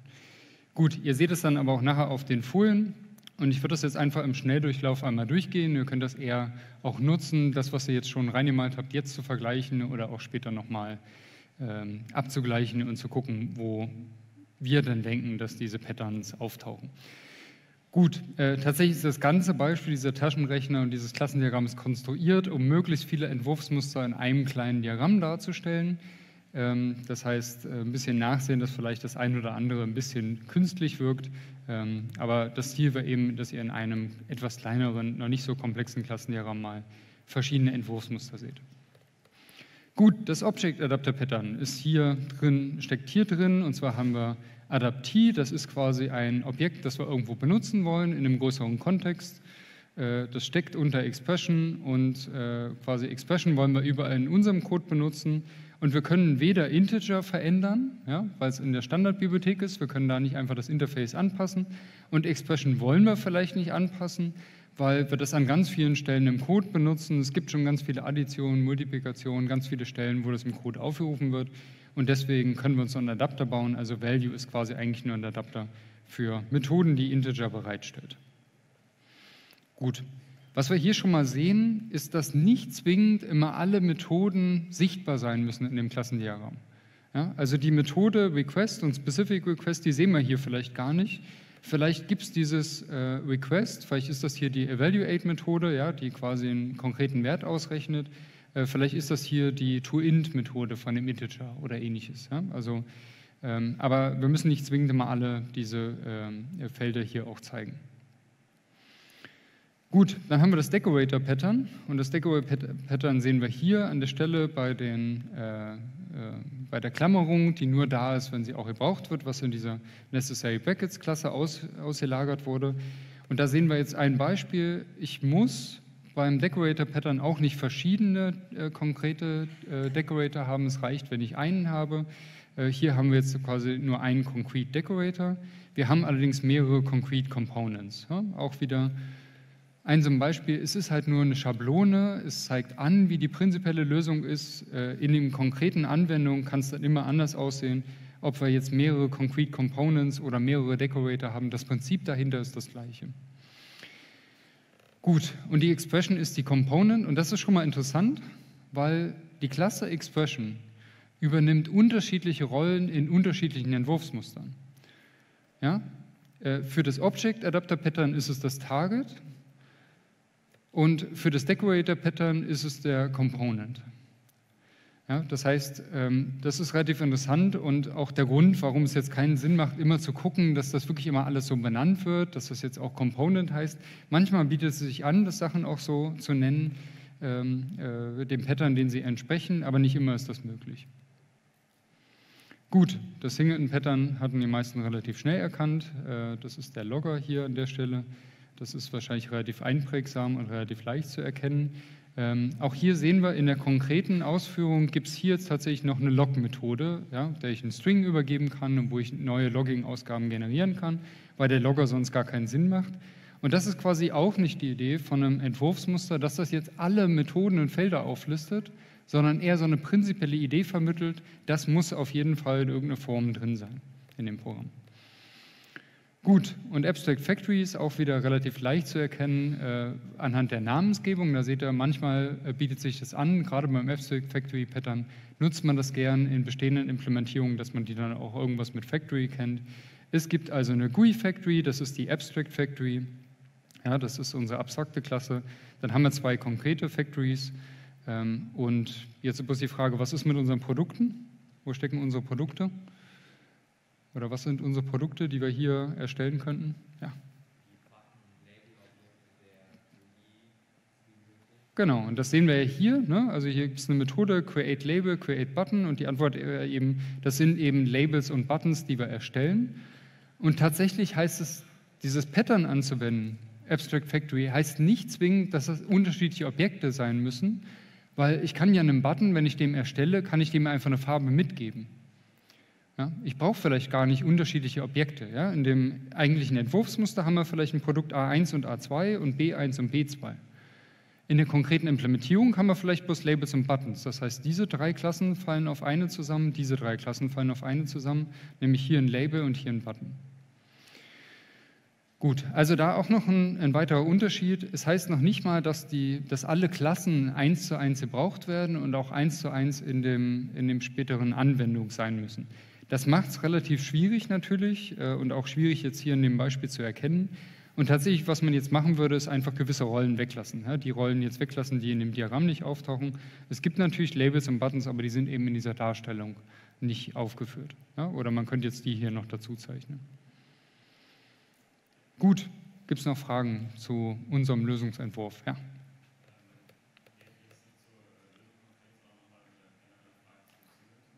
Ja.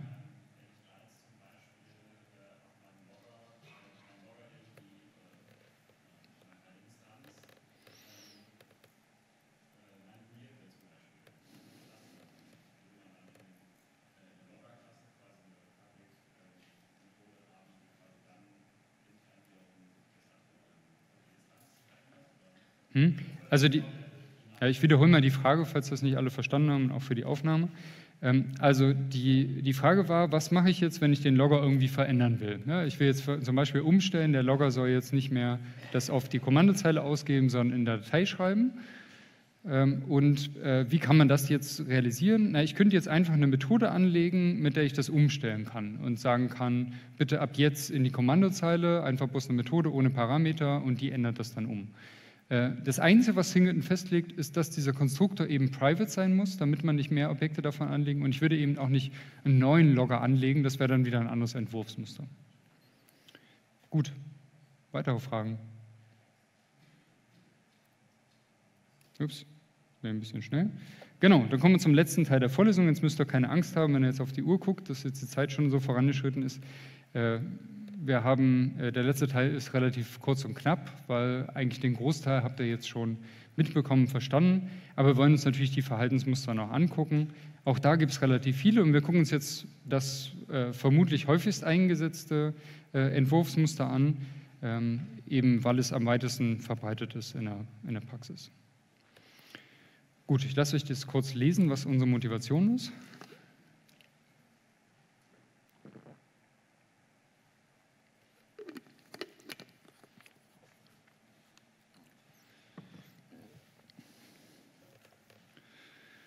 Gut, auch hier gibt es wieder unterschiedliche Namen, äh, Dependence und Publish Subscribe.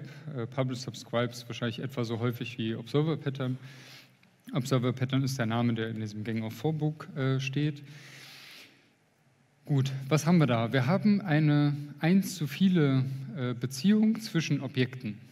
So, und jetzt ist das so, es gibt quasi ein Objekt, das hat irgendwie einen gewissen Zustand und es gibt andere Objekte, die was machen müssen, wenn sich dieser Zustand ändert. Und jetzt kann ich die auf die Idee kommen, naja, jedes Objekt, was an diesem Zustand von diesem Objekt interessiert ist, das fragt einfach an. Ne? Alle Sekunde zum Beispiel, alle Sekunde fragt das mal an, hat sich da ein Zustand geändert oder gib mir da einen Zustand, ich vergleiche den mit dem letzten Zustand. Ähm, das ist bekannt als Pollen, das heißt, ich würde quasi jedes Mal anfragen, hat sich was geändert, hat sich was geändert. Da habe ich ein bisschen das Problem, wenn ich jetzt sage, ich mache das alle Sekunde, dann aktualisiert sich meine GUI vielleicht nicht so häufig, wie sie eigentlich könnte. Äh, und wenn ich das zu klein wähle, quasi dieses zeitliche Intervall, dann habe ich vielleicht einen riesen Rechenaufwand, weil ständig große Berechnungen laufen müssen, äh, bloß um das irgendwie wieder zu aktualisieren oder diesen neuen Zustand abzufragen. Was man also eigentlich möchte, ist, dass das eine Objekt all diesen anderen Objekten auf der anderen Seite quasi einfach mitteilt, wenn es Änderungen gab. Und jetzt haben wir bloß ein Problem. Hier steht jetzt One-to-Many Dependency, also es gibt ein Objekt, das hat einen Zustand, es gibt aber viele andere Objekte, die an diesem Zustand interessiert sind, die quasi immer Bescheid bekommen müssen, wenn sich da was ändert. Und jetzt könnte ich auf die Idee kommen, naja, dann speichere ich mir einfach für jedes dieser anderen Objekte ein Feld ab und dieses Feld, dann gehe ich diese Felder alle durch und jedes Feld rufe ich auf und rufe die entsprechende Methode auf, die es eben braucht, um das wieder zu aktualisieren. Das Problem ist, dass wir dafür Sachen mischen und Sachen äh, quasi eine Verbindung schaffen zwischen Klassen, die eigentlich eher unpraktisch ist. Eigentlich wollen wir, dass es möglichst wenig Beziehungen zwischen unseren Klassen gibt. Ja, wenn ihr so ein Klassendiagramm seht, ist das auch einfach nachvollziehbar, wenn nicht jede Klasse mit jeder verbunden ist. Äh, und andersrum sorgt es auch für viele Probleme, weil jedes Mal, wenn ihr ein neues Objekt auf der einen Seite hinzufügt, ja, ein neues Objekt, was quasi auf diesen Zustand hören will, dann reicht es nicht, diese Klasse anzulegen, dann müsst ihr auch in das Objekt reingehen, müsst den Code nachvollziehen und müsst gucken, an welchen Stellen ihr da diese, eine, irgendeine Update-Methode aufrufen müsst. Was wir jetzt machen, ist die Kopplung zu vermeiden zwischen diesen beiden Klassen. Also weder die, das Objekt, das einen Zustand hat, an dem andere Objekte interessiert sind, soll die anderen kennen, noch sollen die anderen im Detail dieses äh, Objekt kennen und die beiden sollen auch nicht über Polling oder ähnliches, also immer wieder nachfragen. Gut, das wollen wir verhindern und so ein typisches Beispiel, wir haben über das Model View Controller Pattern gesprochen in der Vorlesung. Ja, wir haben irgendwie ein Modell, das hat Daten, wir haben Sichten und da hatten wir so ein Beispiel. Ich habe irgendwie äh, Daten in einem Excel-Dokument, in einer Tabelle und die möchte ich quasi einmal in einem äh, Diagramm darstellen und einmal in einer Tabelle oder vielleicht in zwei verschiedenen Diagrammen, die zwei Aspekte beleuchten. Und wann immer sich diese Tabelle mit den Daten ändert, sollen auch die Diagramme entsprechend angepasst werden. Und jetzt möchte ich aber nicht an jeder Stelle, wo ich irgendwas an den Daten mache, möchte ich nicht jedes Mal äh, mit, äh, mit den ganzen Views, die quasi irgendwie Daten anzeigen, äh, kommunizieren. Das heißt, die Idee ist, das Datenobjekt, also unser Modell, zum Beispiel die Tabelle, die hat eine Liste von anderen Objekten, die daran interessiert sind, wenn sich was ändert in dieser Tabelle. und dann werden die eben alle einfach durchgegangen und werden ähm, benachrichtigt. Gut, das Ganze funktioniert wie folgt. Ähm, erstmal, die, äh, es gibt wieder zwei Klassen, die wir auf jeden Fall schon haben in unserer Domäne, in unserer Anwendung, in der wir das Problem haben. Und die müssen wir erstmal identifizieren. Das ist nämlich einmal das Subjekt.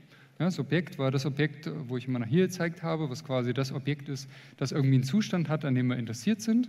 Und dann gibt es Observer, das sind andere Objekte, die an diesem Zustand interessiert sind und diesen, äh, den sozusagen anfragen wollen. Jetzt wäre quasi die naivste Lösung, wäre, äh, das Subjekt kennt den Concrete Observer und der Concrete Observer kennt das Subjekt. So. Da habe ich das Problem, sobald es einen neuen Observer gibt, muss ich den erst einbauen und muss dem Subjekt beibringen, dass es einen neuen gibt. Was wir dafür machen, ist, dass es einfach eine Liste gibt von Observern. Und zwar haben wir, äh, könnten wir in das Subjekt äh, das schon reinmachen. Hier ist es jetzt nochmal eine extra Klasse auserlagert. Ja, in der Praxis könnte das auch sein, dass das Teil von diesem Subjekt ist. Hier ist es eine extra Klasse, die heißt Observable.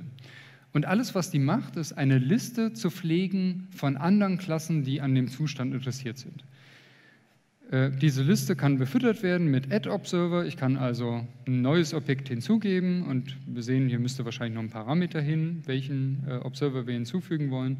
Remove-Observer, auch da bräuchten wir Parameter. Ähm, dann gibt es eine Methode, um alle Observer zu benachrichtigen, also um auf denen irgendwelche Update-Methoden aufzurufen.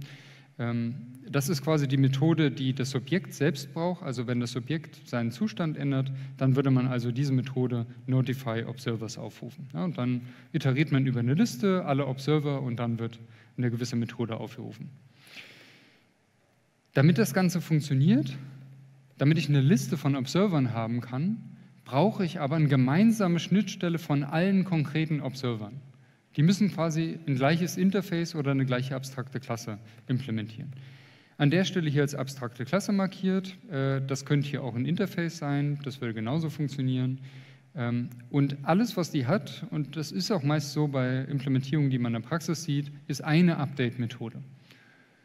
Und diese Update-Methode wird aufgerufen, wann immer sich der Zustand ändert. Ja, wenn sich hier in dem Subjekt der Zustand ändert, wird in diesem Notify Observers die Liste durchgegangen und auf jedem Observer wird diese Update-Methode ähm, aufgerufen.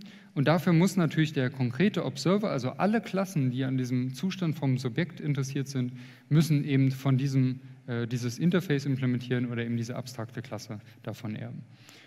Gut, und Jetzt kann man das auch wieder weiterspielen. Ja, es kann mehrere konkrete Observer geben, zum Beispiel ein Tortendiagramm und ein Balkendiagramm. In dem Beispiel, wenn wir jetzt irgendwie eine Tabelle haben, und dann kann es eben einen Datensatz geben und es könnte sogar diese tabellarische Ansicht könnte eben auch eine View sein, die sich eben dann aktualisieren soll.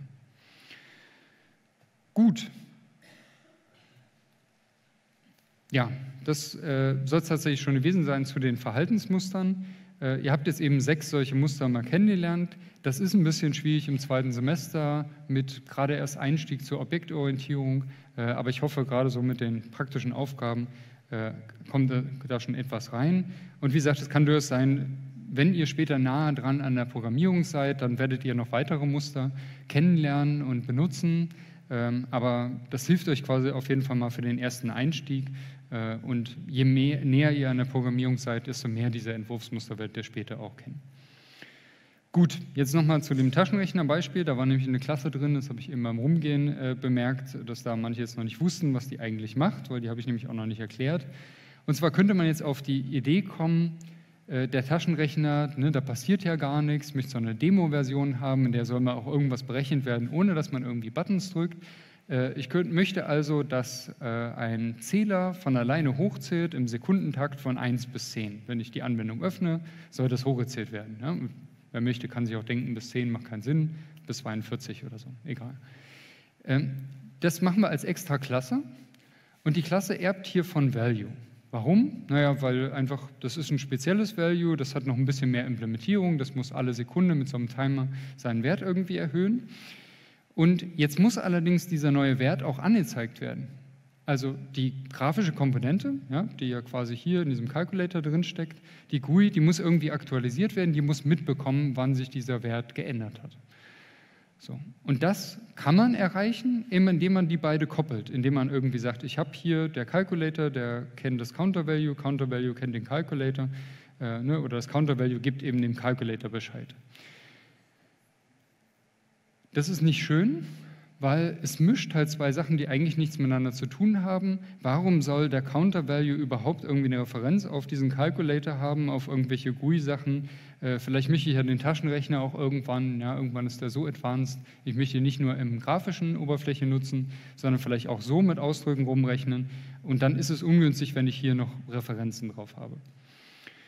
Gut, und das könnte man jetzt umsetzen. Man könnte jetzt gucken, wie man das, ähm, äh, das Pattern das Observer-Pattern, wie wir es jetzt besprochen haben, dass man das hier einsetzt und diese Verbindung hier vermeidet. Man muss ja wahrscheinlich noch neue Klassen einfügen äh, und sich überlegen, welche Methoden jetzt in welchen dieser zwei Klassen enthalten sein müssen.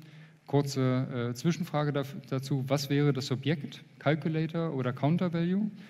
Wer ist dafür, dass Counter Value das Subjekt ist in dem Beispiel? Wer ist dafür, dass Calculator das Subjekt ist? Okay, das waren jetzt echt wenig Meldungen. Also äh, nochmal, wer ist dafür, dass Counter Value das Objekt ist? Gut.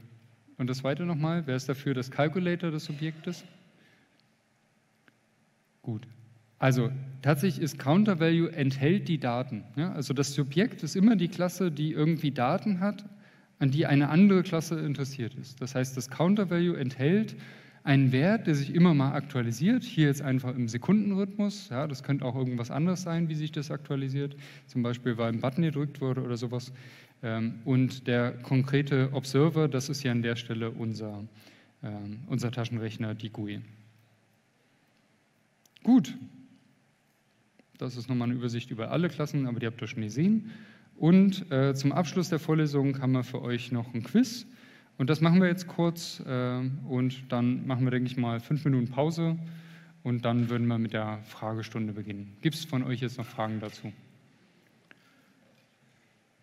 Gut, dann machen wir jetzt gerne das Quiz. Äh, ihr könnt euch äh, da nochmal prüfen zu den Entwurfsmustern und auch gerne nochmal melden, wenn ihr dazu noch Fragen habt. Und danach, äh, ich würde sagen, wir beginnen dann um 15.25 Uhr mit der Fragestunde.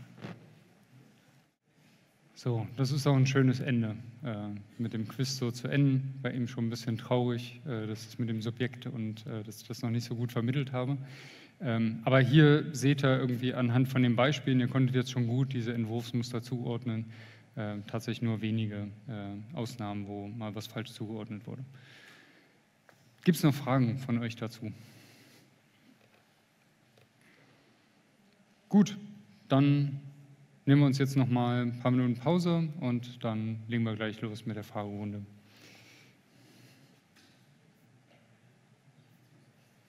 Dann lasst uns weitermachen mit der Fragestunde, also oder Fragerunde. Ich weiß gar nicht, ob es eine Stunde wird, werden wir dann sehen, wie viele Fragen ihr mitgebracht habt.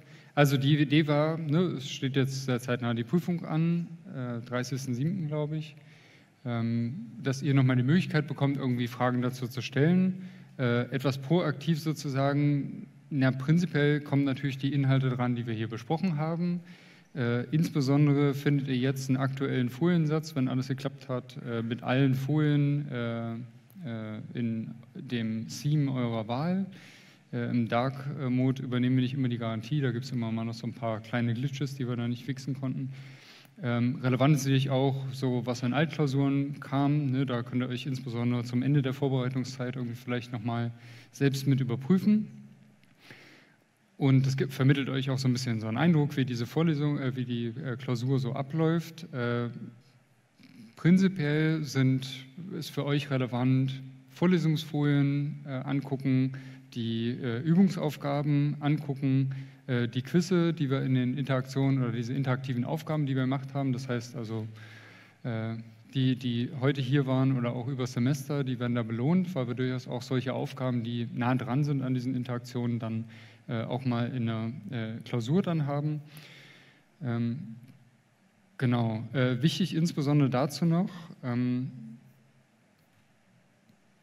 das ist quasi der Gesamtfoliensatz mit allen Vorlesungen und insbesondere hier auch nochmal der Hinweis, äh, die Vorlesung, die quasi letzte Woche war, wo es jetzt nur Videos gab, äh, die ist auch prüfungsrelevant. Also da kann es auch Aufgaben zu geben. Das heißt, das jetzt nicht skippen, bloß weil wir hier uns nicht im Hörsaal getroffen haben. Äh, ich hatte einen Wasserrohrbruch vor meiner Wohnung und da gab es einiges zu tun an dem Tag.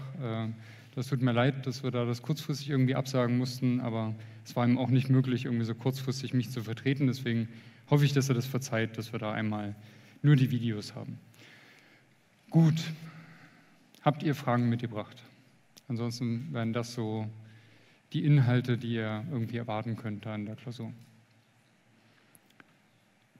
Vielleicht nochmal so die, die ganzen organisatorischen Sachen. Wir treffen uns da für 90 Minuten. Äh, ihr könnt ein A4 beschriebenes Blatt, vorne und hinten, selbst beschrieben, mit eurer Handschrift, auch nicht auf den Kopierer gelegt und A0 in A4 verwandelt oder sowas, sondern wirklich handgeschrieben von euch ein Blatt, Vorder- und Rückseite könnt ihr beschreiben, ähm, mit beliebigen Sachen. Äh, ist uns egal, wir gucken nur gegebenenfalls, ob es eure Handschrift ist. Ähm, genau, äh, typischerweise machen wir das so, dass eine Klausur, und das seht ihr auch in diesen Altklausuren, dass wir 80 Punkte vergeben in 90 Minuten. Und so ein grober Anhaltspunkt für euch ist, dass ihr auch so sehen könnt, wie viel Zeit solltet ihr in eine Aufgabe stecken, dass es so grob ein Punkt pro Minute ist. Ja, das haut nicht immer so hin und jeder ist unterschiedlich schnell bei verschiedenen Aufgaben und nicht immer lässt sich das so eins zu eins mappen, aber so grob solltet ihr da, könntet ihr damit quasi rechnen und gucken, äh, ja, nicht, dass er jetzt irgendwie zehn Minuten damit zubringt, uns einen Text zu produzieren bei irgendeiner Aufgabe, wo es zwei Punkte gibt. Äh, dann wollten wir wahrscheinlich nicht eine Seite Text dazu haben. Gut, ähm, das vielleicht zu den allgemeinen Sachen. Hier vorne gab es schon eine Frage.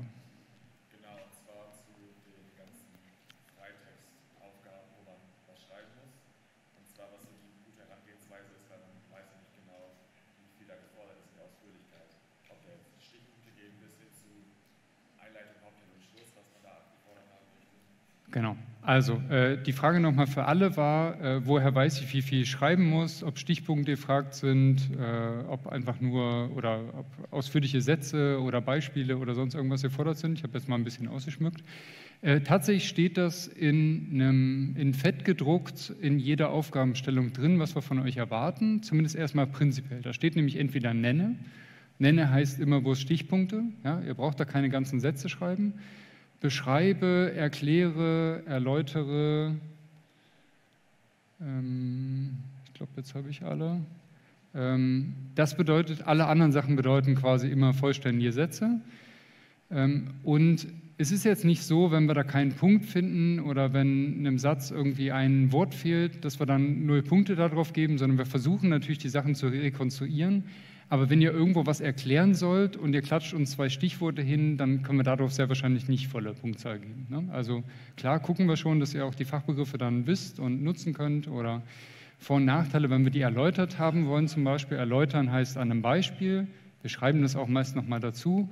Und das, was ich jetzt alles sage, was bedeutet nenne, beschreiben, erklären, erläutere, das steht alles nochmal auf dem Deckblatt drauf und wir sagen das auch am Tag der Klausur nochmal an, ne, zur Erinnerung. Gut, aber insbesondere quasi, es wird ein paar Aufgeben geben, relativ wenig, aber wo ihr bloß was nennen sollt und an der Stelle quasi keine Zeit verschwenden mit irgendwie langen, langen Sätzen und schön ausformuliert und hier noch ein einleitender Satz oder sowas, sondern ähm, versucht es relativ knapp zu schreiben. Und ansonsten seht ihr das teilweise an den Punkten und explizit, wenn wir sowas wie Vor- und Nachteile fragen von irgendwas, dann sagen wir auch meist dazu, wir erwarten zwei Vorteile, zwei Nachteile, ne, sodass ihr dann wissen, wissen könnt, so grob, wie viel ihr dazu schreiben sollt. Gut, gibt es noch eine Frage?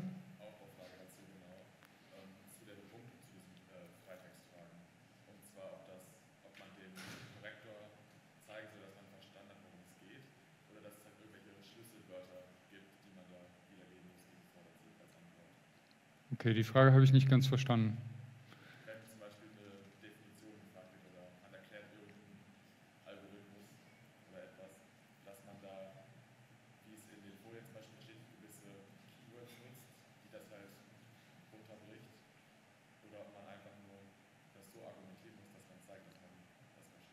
Hm?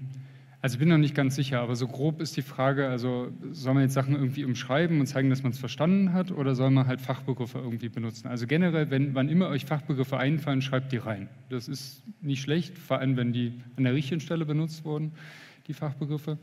Ähm, ja, ansonsten ist es schwer zu beantworten. Ähm, die Idee ist natürlich schon, dass wir kontrollieren wollen, ob ihr das verstanden habt, aber wenn da steht, nenne Vor- und Nachteile dann oder ne, beschreibe oder erläutere die Vor- und Nachteile, wir können jetzt, oder aus Fairness machen wir es dann auch so, dass wir jetzt wirklich auch nicht mehr Punkte geben, ja, bloß weil irgendwo eine Aufgabe irgendwie ausführlicher äh, dann geschrieben wurde.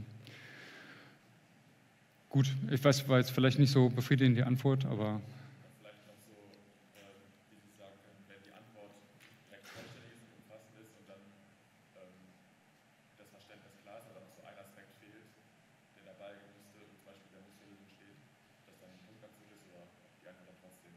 Ja, also äh, die Frage war nochmal so, wie, wie stark wir uns quasi an die Musterlösung klammern. Also prinzipiell klar, wenn wir jetzt irgendwie zwei Vorteile und zwei Nachteile fordern und jemand hat bloß einen Vorteil geschrieben, dann müssen wir irgendwo was abziehen. Aber natürlich versuchen wir es schon, sonst schon nach dem Verständnis zu korrigieren. Äh, es wird womöglich quasi auch Folgefehler geben. Das heißt, wenn es irgendwie Aufgabe A gibt und B und B baut auf A auf, dann versuchen wir auch quasi Folgefehler zu geben und wir versuchen möglichst nach Verständnis zu korrigieren. Gut, gibt es sonstige Fragen?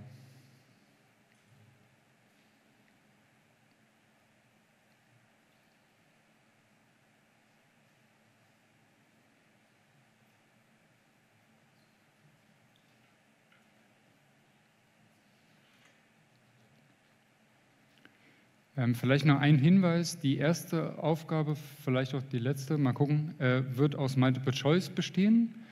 Äh, das Multiple Choice wird so sein, dass es ähm, bei jeder Frage gibt es vier Antwortmöglichkeiten und wie Multiple Choice schon suggeriert, also man kann auch mehrere auswählen, es können mehrere richtig sein.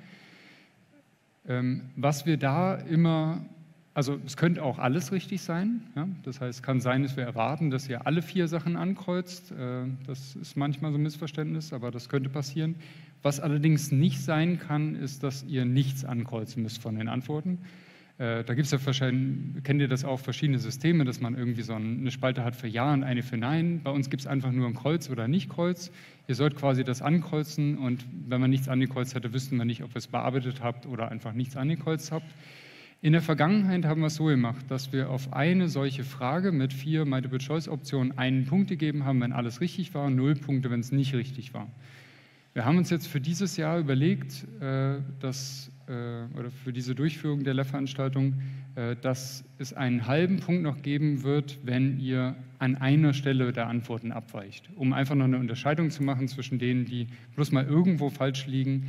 Ja, ansonsten könnte es eben sein, die eine Person hat irgendwie bei der einen Aufgabe, bei der einen Multiple-Choice-Aufgabe dreimal was falsch angekreuzt und die andere hat es bei drei verschiedenen Aufgaben, dann ist das eine quasi ein Punkt Abzug und das andere drei Punkte Abzug.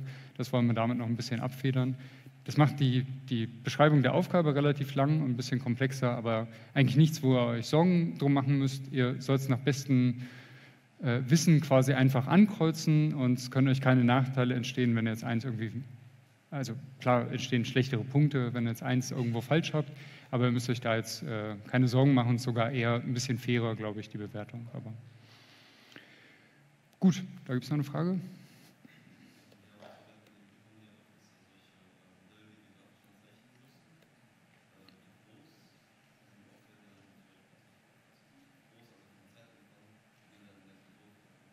Hm? Genau. Also die Frage war, ne, wir haben jetzt viel mit UML gemacht und oft solltet ihr quasi aus einem Text irgendwie ein Modell produzieren und die waren dann auch relativ groß. Ähm, ist es klar, dass wir das im Blick haben? Ne? Das heißt, es ist vollkommen klar, dass wenn jetzt, wenn wir sagen, es braucht da irgendwie für ein Aufgabenblatt sechs Stunden Vorbereitungszeit, dann ist klar, dass die Aufgaben in der Klausur jetzt vielleicht nicht ganz so komplex werden können, wie da jetzt jede einzelne Aufgabe. Das haben wir im Blick. Ähm, natürlich ist es auch so, dass ihr jetzt nicht den Aufgabentyp ja dann nicht zum ersten Mal seht in der Klausur, ne, sondern dann quasi in den Übungen auch schon mal gesehen habt. Ähm, aber faktisch versuchen wir schon, dass die in der Klausur eher ein Tuck leichter sind, aber die sind dann typischerweise eher kleiner und enthalten nicht weniger Randfälle. Ne? Wir wollen, wenn wir so ein UML-Diagramm irgendwie sehen wollen, dann wollen wir schon gucken, dass ihr auch die sprachlichen Konstrukte, die es da drin gibt, auch irgendwie kennengelernt habt. Ja, da gibt es noch eine Frage.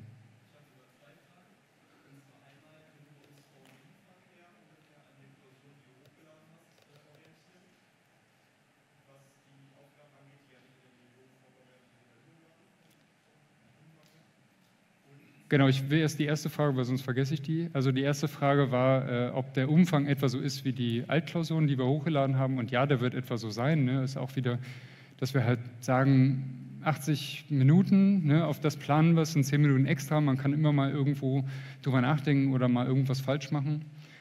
Ähm, genau, also Umfang etwa vergleichbar wie bei den Altklausuren. Die zweite Frage?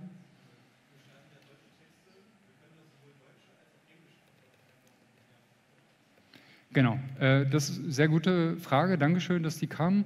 Also, wir haben die Folien auf Englisch, wir haben Übungsaufgaben auf Deutsch und äh, auf den englischen Folien haben wir manchmal noch deutsche Fachbegriffe. Was wir jetzt machen, euch soll daraus kein Nachteil entstehen. Äh, was wir versuchen, ist, dass an jeder Stelle in der deutschen Aufgabenstellung, ne, die Klausur ist auf Deutsch gestellt, englische Fachbegriffe mitstehen, wenn die Übersetzung nicht trivial ist. Ihr könnt jederzeit auch in der Klausur nachfragen, ne, ob dass die von dem äh, deutschen Wort, was da steht, wenn wir irgendwo eine Übersetzung vergessen, könnt ihr da jederzeit nachfragen, ob das der gleiche englische Fachbegriff ist. Ähm, die Antwort, äh, zur Antwort erlauben wir Deutsch und Englisch. Äh, was ein bisschen unpraktisch ist, ist, wenn ihr das pro Wort wechselt, was Deutsch und was Englisch ist, weil dann wird es wahrscheinlich relativ schwierig für uns, das zu verstehen. Aber es wäre jetzt auch kein Problem, wenn eine äh, Frage auf Englisch beantwortet ist und die nächste auf Deutsch. Ja? Also so A auf Deutsch, B auf Englisch oder sowas. Also im Prinzip habt ihr da äh, freie Wahl sozusagen, was, äh, wie, in welcher Sprache ihr die Antwort formuliert, solange es Deutsch oder Englisch ist. Ja.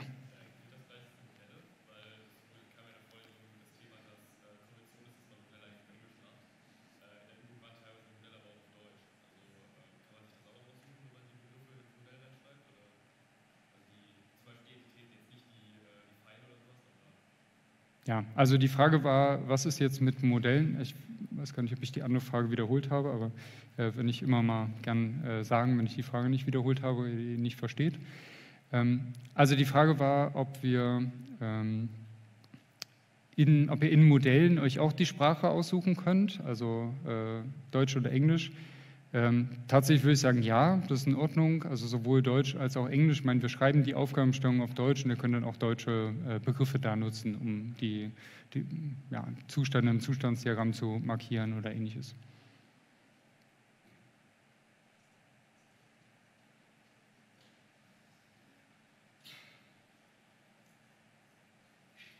Gut, sonst noch Fragen. Aber ich glaube, hier waren noch irgendwie zwei hintereinander, aber vielleicht war das die gleiche. Ah, ja, sorry.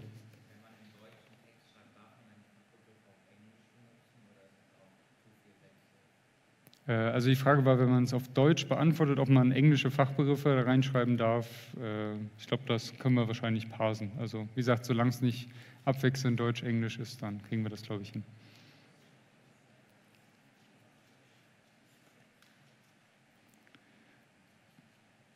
Ich meine, ihr habt das auch gesehen jetzt in der Vorlesung heute, ne, die Entwurfsmuster, ist, wir wollen die auch nicht alle übersetzen. Ja, das sind die englischen Begriffe, haben sich auch im Deutschen eingebürgert und äh, das ist eben der Object Adapter und der hat die Rolle Target und äh, das äh, übersetzt man auch nicht alles. Gut, sonst noch Fragen?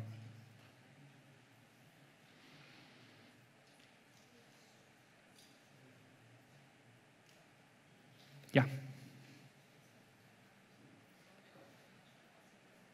Ich habe dich noch nicht verstanden, sorry.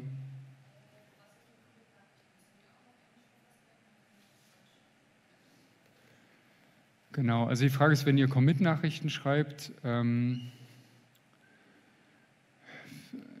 ich würde da eigentlich auf Englisch empfehlen und es gibt auch Teile von einer Commit-Nachricht, die sogar Englisch sein müssen, weil da irgendwelche Keywords drinstehen. Ne? Also ein Beispiel wäre jetzt bei einer wenn ihr Code schreibt und ihr schreibt irgendwie äh, eine Klasse und da steht Public, dann sollte das bitte nicht in öffentlich übersetzen. Und genauso gibt es auch in, einer, in, einem Conventional Commit gibt's gewisse, äh, gewisse Bezeichner, die man quasi nicht übersetzt dann. Ne? Also sowas wie Feed oder sowas oder Refactor würde man eben nicht übersetzen oder Breaking Change. Ähm, aber an sich könnten die Nachrichten auch auf Deutsch sein, ne? in einer Commit-Nachricht.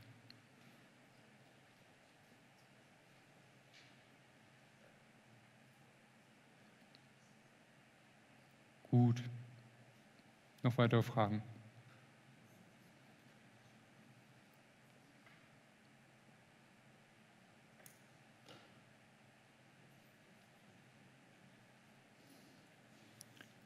Gut. Ansonsten, äh, ich meine, was ihr vielleicht jetzt irgendwie so, was ihr vielleicht schon seht, vielleicht aber noch nicht, äh, gewissermaßen richtet sich die Vorlesung so ein bisschen nach dem Wasserfallmodell. Nur dass ich für diese äh, Vorlesungsreihe das äh, auseinandergenommen habe, nämlich äh, normalerweise fängt das Wasserfallmodell ja irgendwie hier an. Ne? Also wir haben so Entwurfsprozesse und dann fängt das ja irgendwie an von den Anforderungen bis zum Entwurf und dann ist man bei der Implementierung und dann kommt man irgendwie zum Testen und zur Wartung. Also das vielleicht noch so, vielleicht hilft euch das auch so ein bisschen zu, zu sehen, wo kommt das alles her. Und tatsächlich haben wir das deswegen auch umgedreht, weil ihr, ich habe das sonst im dritten Semester unterrichtet und jetzt im zweiten Semester. Und ihr bringt natürlich jetzt noch nicht ganz so viel Programmiererfahrung mit und deswegen wollten wir euch wenigstens da abholen mit der Programmiererfahrung. Also deswegen haben wir die implementierungsnäheren Sachen quasi eher gemacht und die Sachen zur Modellierung dann etwas später. Gut. Letzte Möglichkeit. Gibt es noch Fragen? Gut, dann würde ich noch mal kurz an Jana abgeben. Genau. Äh, auch wenn das gerade von Thomas nach der letzten Möglichkeit für Fragen klang, ähm, noch kurzer Disclaimer. Wir werden am Donnerstag auch noch eine Sprechstunde im LZI anbieten von 10 bis 12. Äh, das ist in den Räumlichkeiten vom Lernzentrum, das ist im E-Gebäude. Ich schreibe aber auch noch mal eine Ankündigung. Da sitzen Emiram und ich da, ihr könnt einfach vorbeikommen. Jederzeit, am besten nicht um kurz vor zwölf, sondern irgendwann vorher ähm, und nochmal Fragen stellen, auch zu Übungsaufgaben und zu allem Möglichen. Genau. Äh, dann abseits äh, von der Vorlesung will ich noch mal ganz schamlos kurz Eigenwerbung betreiben, denn ähm, ich habe aktuell eine Stelle ausgeschrieben im Studienbüro und die Stelle richtet sich ähm, an Studierende, die Lust haben, ein sogenannter Culture Fellow zu sein. Und weil dieser Begriff ein bisschen merkwürdig ist, wollte ich den kurz erklären, damit ihr wisst, worauf ihr euch bewerben würdet. Ein Culture Fellow soll im Grunde dafür sorgen, dass Studierende und dozierende Personen sich ein bisschen besser miteinander verständigen. Das heißt, wenn ihr euch an euer erstes Semester zurückerinnert, dann habt ihr vielleicht auch in meiner Vorlesung gesessen und zwischendurch gedacht, ich habe gar keine Ahnung, was sie gerade von uns erwartet, weil ihr das ganze Konzept von Universität und Vorlesung noch nicht kennt. Und ich denke vielleicht, das wisst ihr alle schon, aber ihr wisst das gar nicht. Und dann ist ein Culture Fellow so als Zwischenperson da, die mit euch darüber spricht, was treten vielleicht für Missverständnisse auf, was sind vielleicht Unklarheiten in der Organisation oder ähnlichem, die ich als Lehrperson gar nicht mitbekomme, die ihr als Studierender aber dann merkt. Und der Culture Fellow kann dann zu mir kommen und ähm, darüber mit mir sprechen und dementsprechend ähm, können wir dann die Lehrveranstaltung verbessern. Ähm, damit man weiß, was man da überhaupt machen muss und wie man diese ganzen Gespräche führt, gibt es tatsächlich eine Ausbildung dazu. Das heißt, ihr werdet geschult zu Beginn des Semesters ähm, in allen möglichen Sachen. Wie macht man das so? Wie geht man auf die Studierenden zu? Was muss ich da beachten? Und dann werdet ihr im Semester mindestens eine Lehrveranstaltung besuchen, die ihr schon besucht habt ähm, und euch da einfach teilweise mit reinsetzen, aber auch einfach in den Austausch mit den Studierenden gehen ähm, und das dann an die Lehrpersonen feedbacken, euch aber auch mit den Culture Fellows ähm, im Grunde einfach austauschen. Es geht explizit nicht darum, irgendwie fachlich da zu unterstützen und irgendwelche fachlichen Inhalte und Fragen zu beantworten, sondern es geht explizit darum, die Lehrveranstaltung Veranstaltung an sich in der Qualität und Organisation zu unterstützen. Genau. Ähm, die Stellenausschreibung findet ihr einfach, wenn ihr UPB Stellenausschreibung googelt und dann ist das eine Stellenausschreibung als SAK im Studienbüro für Informatik. Ähm, da steht mein Name überall drin, dann könnt ihr mir einfach eine Mail schreiben und euch da entsprechend drauf bewerben und ähm, dann gucken wir, wo das hinführt. Falls ihr noch Fragen dazu habt, wie das so abläuft, dann könnt ihr euch auch einfach bei mir melden. Ähm, genau, falls das für irgendwen interessant ist, freue ich mich auf eine Mail und ansonsten ähm, genau, wünsche ich euch eine gute Klausurenphase. Ich weiß nicht, ob Thomas noch Tschüss sagen will. ja, also wir sehen uns ja dann nochmal zu den Klausuren vermutlich oder der Einsichtnahme. Aber schon mal Dankeschön für eure äh, Mitarbeit in den Interaktionen. Hat mir auf jeden Fall Spaß gemacht, auch im Praktikum äh, da zu sehen, wie ihr da vieles gelernt habt über das Semester. Äh, und ich wünsche euch äh, viel Erfolg für die Prüfungen, nicht nur für die in Software Engineering, sondern für alle anderen. Und bis bald.